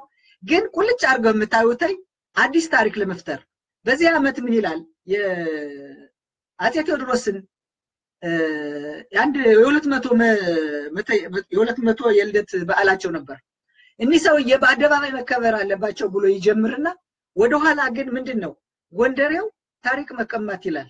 እንግዲህ ጎንደሬው ታሪክ ቀሚ፣ ታሪክ ተቀሚው ደግሞ ትግራይን ያደርጋል እና አፄ ቴዎድሮስ ትግራዊ ናቸው ነው የሚለው። ይሄ አባባሉ ይሄ አባባሉ ዝም ብሎ አይደለም። ሰሞኑን በተግባር አይተናል። በዋልድባ እንትን ማህበረ ስላሴ የሚባል ገዳም ትልቅ ገዳም አለ። ኢትዮጵያውያኖች በብዛት የማያውቁት ይህ ገዳም አፄ ቴዎድሮስ ፊደል የቆጠሩበት ነው። የአባታቸው አገር ነው ቋራ። የአፄ ቴዎድሮስ አባት ሀገር ነው። እና ይህ ማህበረ ስላሴ ገዳም ላይ ወደ ሱዳን ለማስረከብ ክልሉ ወደ ሱዳን ሰጥተውታል። እንግዲህ ሱዳን ይላሉ ጎንደርን፣ ጎጃምን፣ ወለጋን ቆርጠው ወደ ትግራይ ወደ ሱዳን ይሉና ከሱዳን እንደገና የአደራ መሬት ነው። ወደ ትግራይ የሚመለስ ነው በካርታው እና ይህ ማህበረ ስላሴ ገዳም ላይ አንድ በመነኩሴ ስም የተላከ ካድሪ አፄ ቴዎድሮስ የትግራይ ተወላጅ ናቸው ብሎ ሲናገር ሰዎች ይሰማሉ። ይህ ነገር ገዳም ስለሆነ የግድ ለመቃወምም ለመደገፍ የደብሩን አበምኔት ያነጋግራል። የአካባቢው የሄደው ሰው እንዴት ነው እናንተ ከገዳም ውስጥ እንደዚህ የሚል መነኩሴ ሲናገር ሰማን። አፄ ቴዎድሮስ ትግሬ ናቸው ብሎ ሲናገር ሰማን። ይሄ አሁን ሳምንት አልሆነውም የደረሰኝ ነው እንግዲህ በዛው ቦታ የነበረ ሰው እነዚህ የማህበረ ስላሴ ገዳም አበምኔት መነኮሳትን ሰብስበው ይህን የሚል ሰው አውጡ ተብሎ ሲፈለግ ይህ ካድሪ ከቦታው ጠፋ። ከዚህ በኋላ ያን ካድሪ ያገኘ ሰው እርምጃ እንዲወሰድበት ተብሎ ተነገረ። ተመልከት እንግዲህ መምህር ገብረ ኪዳን ደስታም ይህን ነገር ጀምረውታል። ራስ ደጃቹቤን ሲያወግዙ በአንድ በኩል ቴዎድሮስን ጻድቅ ነውና ከደጃቹቤ አገዛዝ ነፃ ወጥቷል የትግራይን ህዝብ የትግራይን ህዝብ አገሬ ናት ይላል በሚል ጀምረውታል። መልሰው በሌላ መልኩ ሲያዩ ደግሞ አፄ ቴዎድሮስ እጅግ ያዋረዳሉ ያዋረዳሉ። ከጎንደር ተባሮ ከደብረ ታቦር ተባሮ ወደ መቅደላ አምባ የወጣው የኢትዮጵያን የጎንደር የአማራውን ህዝብ ሸሽቶ ነው ይላል። በሌላ መልኩ አሟሟቱንም ዝቅ አድርጎ በማድረግ አንድ ሰው እጄን አልሰጡ ብሎ ማንኛውም ሰው የሚያደርገው ነው ይላል። ይሄ እንዴት ነው ታሪኩ? ለማን ነው ይህ ሰውዬ መምህር ገብረ ኪዳን ደስታ ለማን ነው ታሪኩን እየተናገረ ያለው? ለኢትዮጵያ ህዝብ ነው ወይስ ለዓለም ማህበረሰብ? የዓለም ማህበረሰብ የሚያውቀው እንግሊዞች እንግሊዞች ፀሐይ የማይጠልቅባቸው ነበሩ። ባደረጉት ወረራና ዘመቻ በኢትዮጵያ አፄ ቴዎድሮስን ለመግጠም ያደረጉት ዘመቻ ከፍተኛ መዋዕለ ንዋይ የፈሰሰበት ነው ይባላል። ከፍተኛ ድካም ጉልበት የፈሰሰበት ነው ይባላል። ዞኖችን አሰልጥኖ ባህሩን አሻግሮ ወደ ኢትዮጵያ መሬት ማስገባት ራሱ ቀላል አልነበረም። መቅደላ ድረስ ወደ ኢትዮጵያ ሲመጡ የዝሆን ዝሆኖች ሁሉ ገብተዋል። እንግሊዞች ከፍተኛ መዋዕለ ንዋይ ያፈሰሱበት ነው። ኢትዮጵያን እንደማይገዟት ኢትዮጵያን መግዛት እንደማይቻል እንግሊዞች አረጋግጠውታል። የፈለገ ኃይል አምጥተው ቢወሩትም በኢትዮጵያ ምድር እንግሊዞች ነግሰው መኖርና ቅኝ ግዛት ማድረግ እንደማይችሉ ተረድተውታል። ግን የታሰሩትን ሰዎች ለማስፈታት በዓለም ላይ ክብራችን ተነካ ብለው በከፍተኛ ዝግጅት እንደ በክር እንደ በክር ምጥ እንደ በካር ምጥ እንግሊዝን ያስጨነቀ ንጉስ እንደነበሩ አፄ ቴዎድሮስ ይነገራሉ። ራሳቸው ጠላት መስክረዋል፣ ጠላቶች መስክረዋል። በመምህር ገብረ ኪዳን የአንድ ሰሞነኛ የማህራ እንትን ምንድን ነው የተለያየ ነገር አለ እና የደጅ ሰላም ዲስኩር ነው የምንሰማው ያለ ነው እና እነዚህ ሰዎች በክፉ ደረጃ አማራን በቀላሉ የምንፋታቸው አይደለንም። እነዚህን በትግራይ ውስጥ የምሁራን ነን የሚሉ በተለይ ዶክተር የሚባሉ በየዩኒቨርሲቲ የሚያስተምሩ ለአዲሱ ትውልድ ለትግራይ ትውልድ ከፍተኛ መርዝ በአማራ ላይ በጥላቻ የተሞላ ትምህርት የተሰጡ በመሆናቸው ነገሩ በቀላል አያደርግም። ግን ግን ከመሸ በኋላ መነሳት የለብንም። ነገሩ ካለፈ ከመሸ በኋላ መሆን የለበትም። አማራ እንደ አንድ ሰው ቆሞ ራሱን መመከት ይችላል፣ ከኢትዮጵያዊነቱ ሳይወጣ የአንድነት ኃይሉን ቀርቶ የአንድነት ኃይል የማይል በዘር ፖለቲካ የጎሳ ነፃ አውጪ ነን ከሚሉት ጋርም አብሮ መስራት ያስፈልጋል። ህወሓት ያደረገው እንደዛ ነው። ህወሓት የዘር ድርጅት እያቋቋመ ነው። የዘር ድርጅት ያለውን በሙሉ መቃወም የለብንም። የአንድነት ኃይሉም አማራ በአማራነቱ ቢደራጅ እርግጠኛ ነኝ ከራሴ ጀምሮ አማራ በአማራነቱ በፖለቲካ መደራጀት ቀርቶ በእድርም ንጹህ የአማራ ከሆነ ከተንኮል ከሴራ የጸዳ የተቃዋሚ ተቃዋሚ የማይሆን ከሆነ የመጀመሪያው ሰው እኔ ነኝ። በዛን ሰዓት አማራ ራሱን ለመከላከል በሚያደርገው ትግል ውስጥ ለምን ይህን ድርጅት ደገግ የሚለኝ የአንድነት ኃይል ካለ የእሱን አንድነት ቀቅሎ ይብላው። በአማራ መቃብር ላይ ገና ኢትዮጵያ የሚለው ቃል አማራ ሲነሳ የሚፈርስ ነው ብሎ የሚያስብ የአንድነት ኃይል የተሳሳተ ደንቆሮ ነው፣ ወይም በውስጡ ተንኮልና ሴራ ያለበት ነው። አማራ ቢደራጅ በአማራ ህዝብ ልብ ደም ኢትዮጵያ አለ። ያን ማንም ሊያወጣው አይችልም። ትምህርት ቤት አይደለም የሰጠ ኢትዮጵያዊነቴን ኢትዮጵያዊነቴን ከቤት ከምድጃ ታሪክ ነው የተማርኩት። ከምድጃ ታሪክ ነው የተማርኩት ኢትዮጵያዊነቴን። ያን ኢትዮጵያዊነቴን የፈለገው ቢመጣ ከኢትዮጵያዊነት የሚያስለቅቀኝ የለም። አማራን ከጥፋት ለማዳን አማራው እንደ አንድ ሰው ሆኖ ቢነሳ ለአንድነቱ ትልቅ መሰረት ነው። ለዚህ ነው ይህን መሰረት ለመናድ ህወሓት ከአርባ ዘመን በላይ በአማራው ህዝብ ላይ ከፍተኛ ትኩረት ሰጥቶም ጦርነት ተኩሶ መግደል፣ ማሰር፣ ማፈን ብቻ አይደለም። ብዙ ሰፊ ስራ እየሰራ ነው ያለ። ዓለም አቀፋዊ ዘመቻ ነው የተካሄደው። ከደህንነቱ ከመከላከያው ያላነሰ ባጀት የሚያውለው አማራን ሁለንተናዊ አማራ በያለበት ሰላም መንሳት ነው። አማራ በውጭ ሀገር በስደት ተቀምጦ በአንድ ላይ እንዳይኖር አንድ እንኳን ቤተ እምነት እንዳይኖረው በማወክ ነው።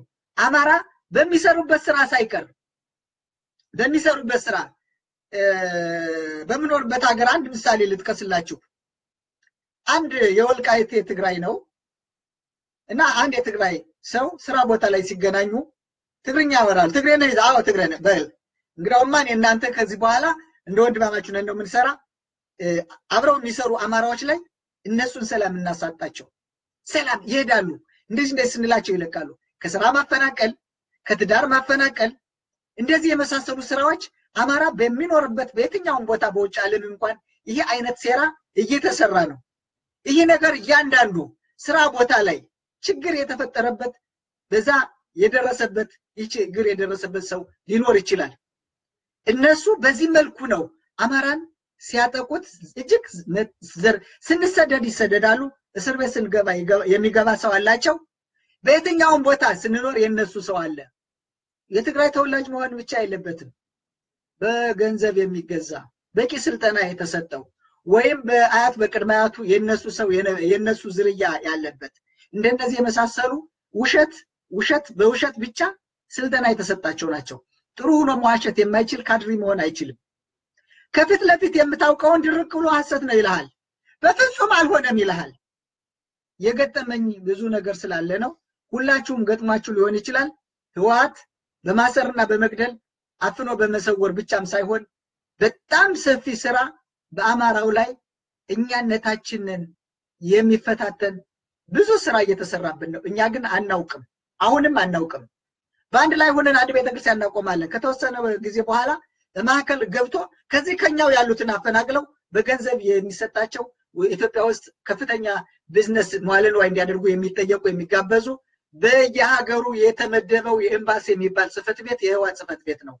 ኢትዮጵያውያን ኢትዮጵያውያን እንደ እኩል አድርጎ የማያይ በኢትዮጵያውያን ስም ኤምባሲ ተብሎ የተቀመጠ በምንኖርባት በምኖርባት ዓለም በምኖርባት ሀገር ሁለት ቢሮ አለ ይባላል።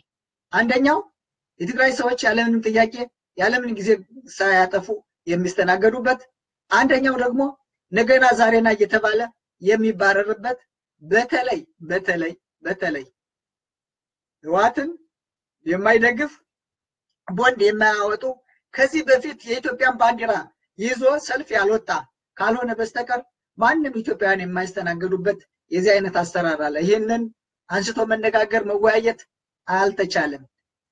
የጉንጭ አልፋ አማራ ራሱን በራሱ የሚገድልበት አማራ የሚባል ድርጅት አለ። ዛሬ እኔ በምኖርበት ሀገር አንድ ላይ ወተን ሰልፍ የአድዋ ድልን እንኳን ለማክበር ብንጠራ ማሰባሰብ ያልቻልንበት ወቅት ላይ ነው ያለ ነው። አማራ በሚል እና የተለያየ ድርጅቶች ተመስርተው አንድ ለአመታት አንድ ድርጅት ነበረን። ያ ድርጅት ሌላውን ማሰባሰብ ይችል ነበር። ዛሬ ግን አምስት ስድስት ድርጅት ተቋቁሞ አንዱ አንዱን እየበላ አንዱን አንዱን ጠላት አድርጎ እያየ በአንድ ላይ ወጥተን ይህንን ገዳይ ስርዓት እንዳንቋቋም የተደረግን ይህ ከበስተጀርባው ንጹህ አይደለም። አማራ ይበሉ እንጂ አማራ የአማራ ስራ ለአማራ የሚጠቅም ስራ ለመስራት አይደለም። ሌላም ሌላም ድርጅት አለ፣ በስም መጥቀስ አልችልም። ይህ ነገር በዚህ ውስጥ በዚህ ትግል በዚህ ፈተና ውስጥ ነው ያለ ነው። እኛ ግን አማራንን እንላለን። አማራ አማራ በሚሉ ሰዎች ምን እየሰሩ እንደሆን እንኳን እንዳለ ሾላ በድፍኑ ውስጡ ምን እንዳለ እንኳን ሳናውቅ አዎ የአማራ ድርጅት ነው፣ ሸቴ የአማራ ጠላት ነው ነው ነው። አዎ እኔን ሲሰድቡ ለምን ያነኛው ሌላኛው አንድነት ስላለ ሲሰደብ ለምን ብሎ የማይጠይቅ ማህበረሰብ ተፈጥሮ መላት ቅጡ የጠፋበት የሚያደርገው ሁሉ ተስኖት አብዛኛው አሁን ከፖለቲካ ዓለም ተማሮ የሰማዩን መንገድ ብቻ የሰማዩን መንገድ አብዛኛው አሁን አብዛኛዎቹ ከዛሬ ስንት ዓመት ኢሳትን ሲረዱ ምን ሲሉ የነበረ? ኢሳትንም እንኳን ላለመርዳት ዛሬ የሰማይ መንገዱን ብቻ ትኩረት ሰጥተው ስለዚህ ነው እምነት ያለ ሀገር ሀገር ከምንም በላይ ነው። ከሚስት ከልጅ ከእናት። ያለ ሀገር ያለ ሀገር የሰው ልጅ ማንነቱ የሚታወቀው በሀገሩ ነው። እይቀብር ነብይ በሀገሩ። እንትን የሚባል አለ። ሰው በሀገሩ ይጠራል ሀገር ደግሞ በሰዎች ትጠራለች። ይህ የሚባለው ምንድን ነው ኢትዮጵያ ኢትዮጵያን ስትለው ትዝ የሚለው ሰው ምንድን ነው እና አፄ ምኒልክ እና አፄ ቴዎድሮስን ነው። እና አፄ ዮሐንስን ስለዚህ ኢትዮጵያ ኢትዮጵያን ያሰኟት እነዚህ ሰዎች ስለሆኑ ነው። በስመ ሀዳሪ ይጸዋ ማህደር ወበስመ ማህደር ይጸዋ ሀዳሪ አገር በሰዎች ትታወቃለች ሰዎች ደግሞ በሀገራቸው ይታወቃሉ ነው። ይህ ሚል በመጽሐፍ የተቀመጠ ነው። ያለ ሀገር ያለ ነፃነት እምነት ዋጋ ቢስ ነው። ሀገር የሌለው ሰው እምነቱን ማክበርና አይቻልም። ረሃብ ከጦርነት በላይ ነው ወገኔ ይህ አማራ የሚባል ገበሬውን አስርበውታል ጨርሰውታል ገለውታል። ይህን ወገን ለመታደግ ምሁር በዳግመኛ ምጽአት አይደለም የምትመጡት። ዛሬ የተደበቃችሁ የአማራ ዝርያ ያላችሁ ምሁራን ስለዚህ ስለዚህ እልቂት የታወጀበት አማራ አለንህ ልትሉት በሀሳብ እንኳን ልትካፈሉት ይገባል። እና ወገኔ የእናንተ በልቶ ጠጥቶ ተደስቶ መኖር ትርጉም የለውም። እየኖሩ ማለፍ ምን ይሰራል? እየኖሩ ማለፍ ምንም አይደለም። እና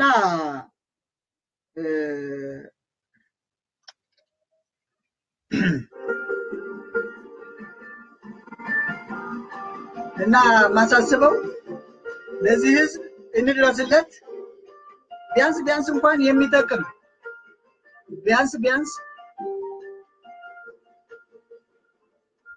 ለወገን የሚሆን የሚጠቅም ስራ ልንሰራለት ይገባል።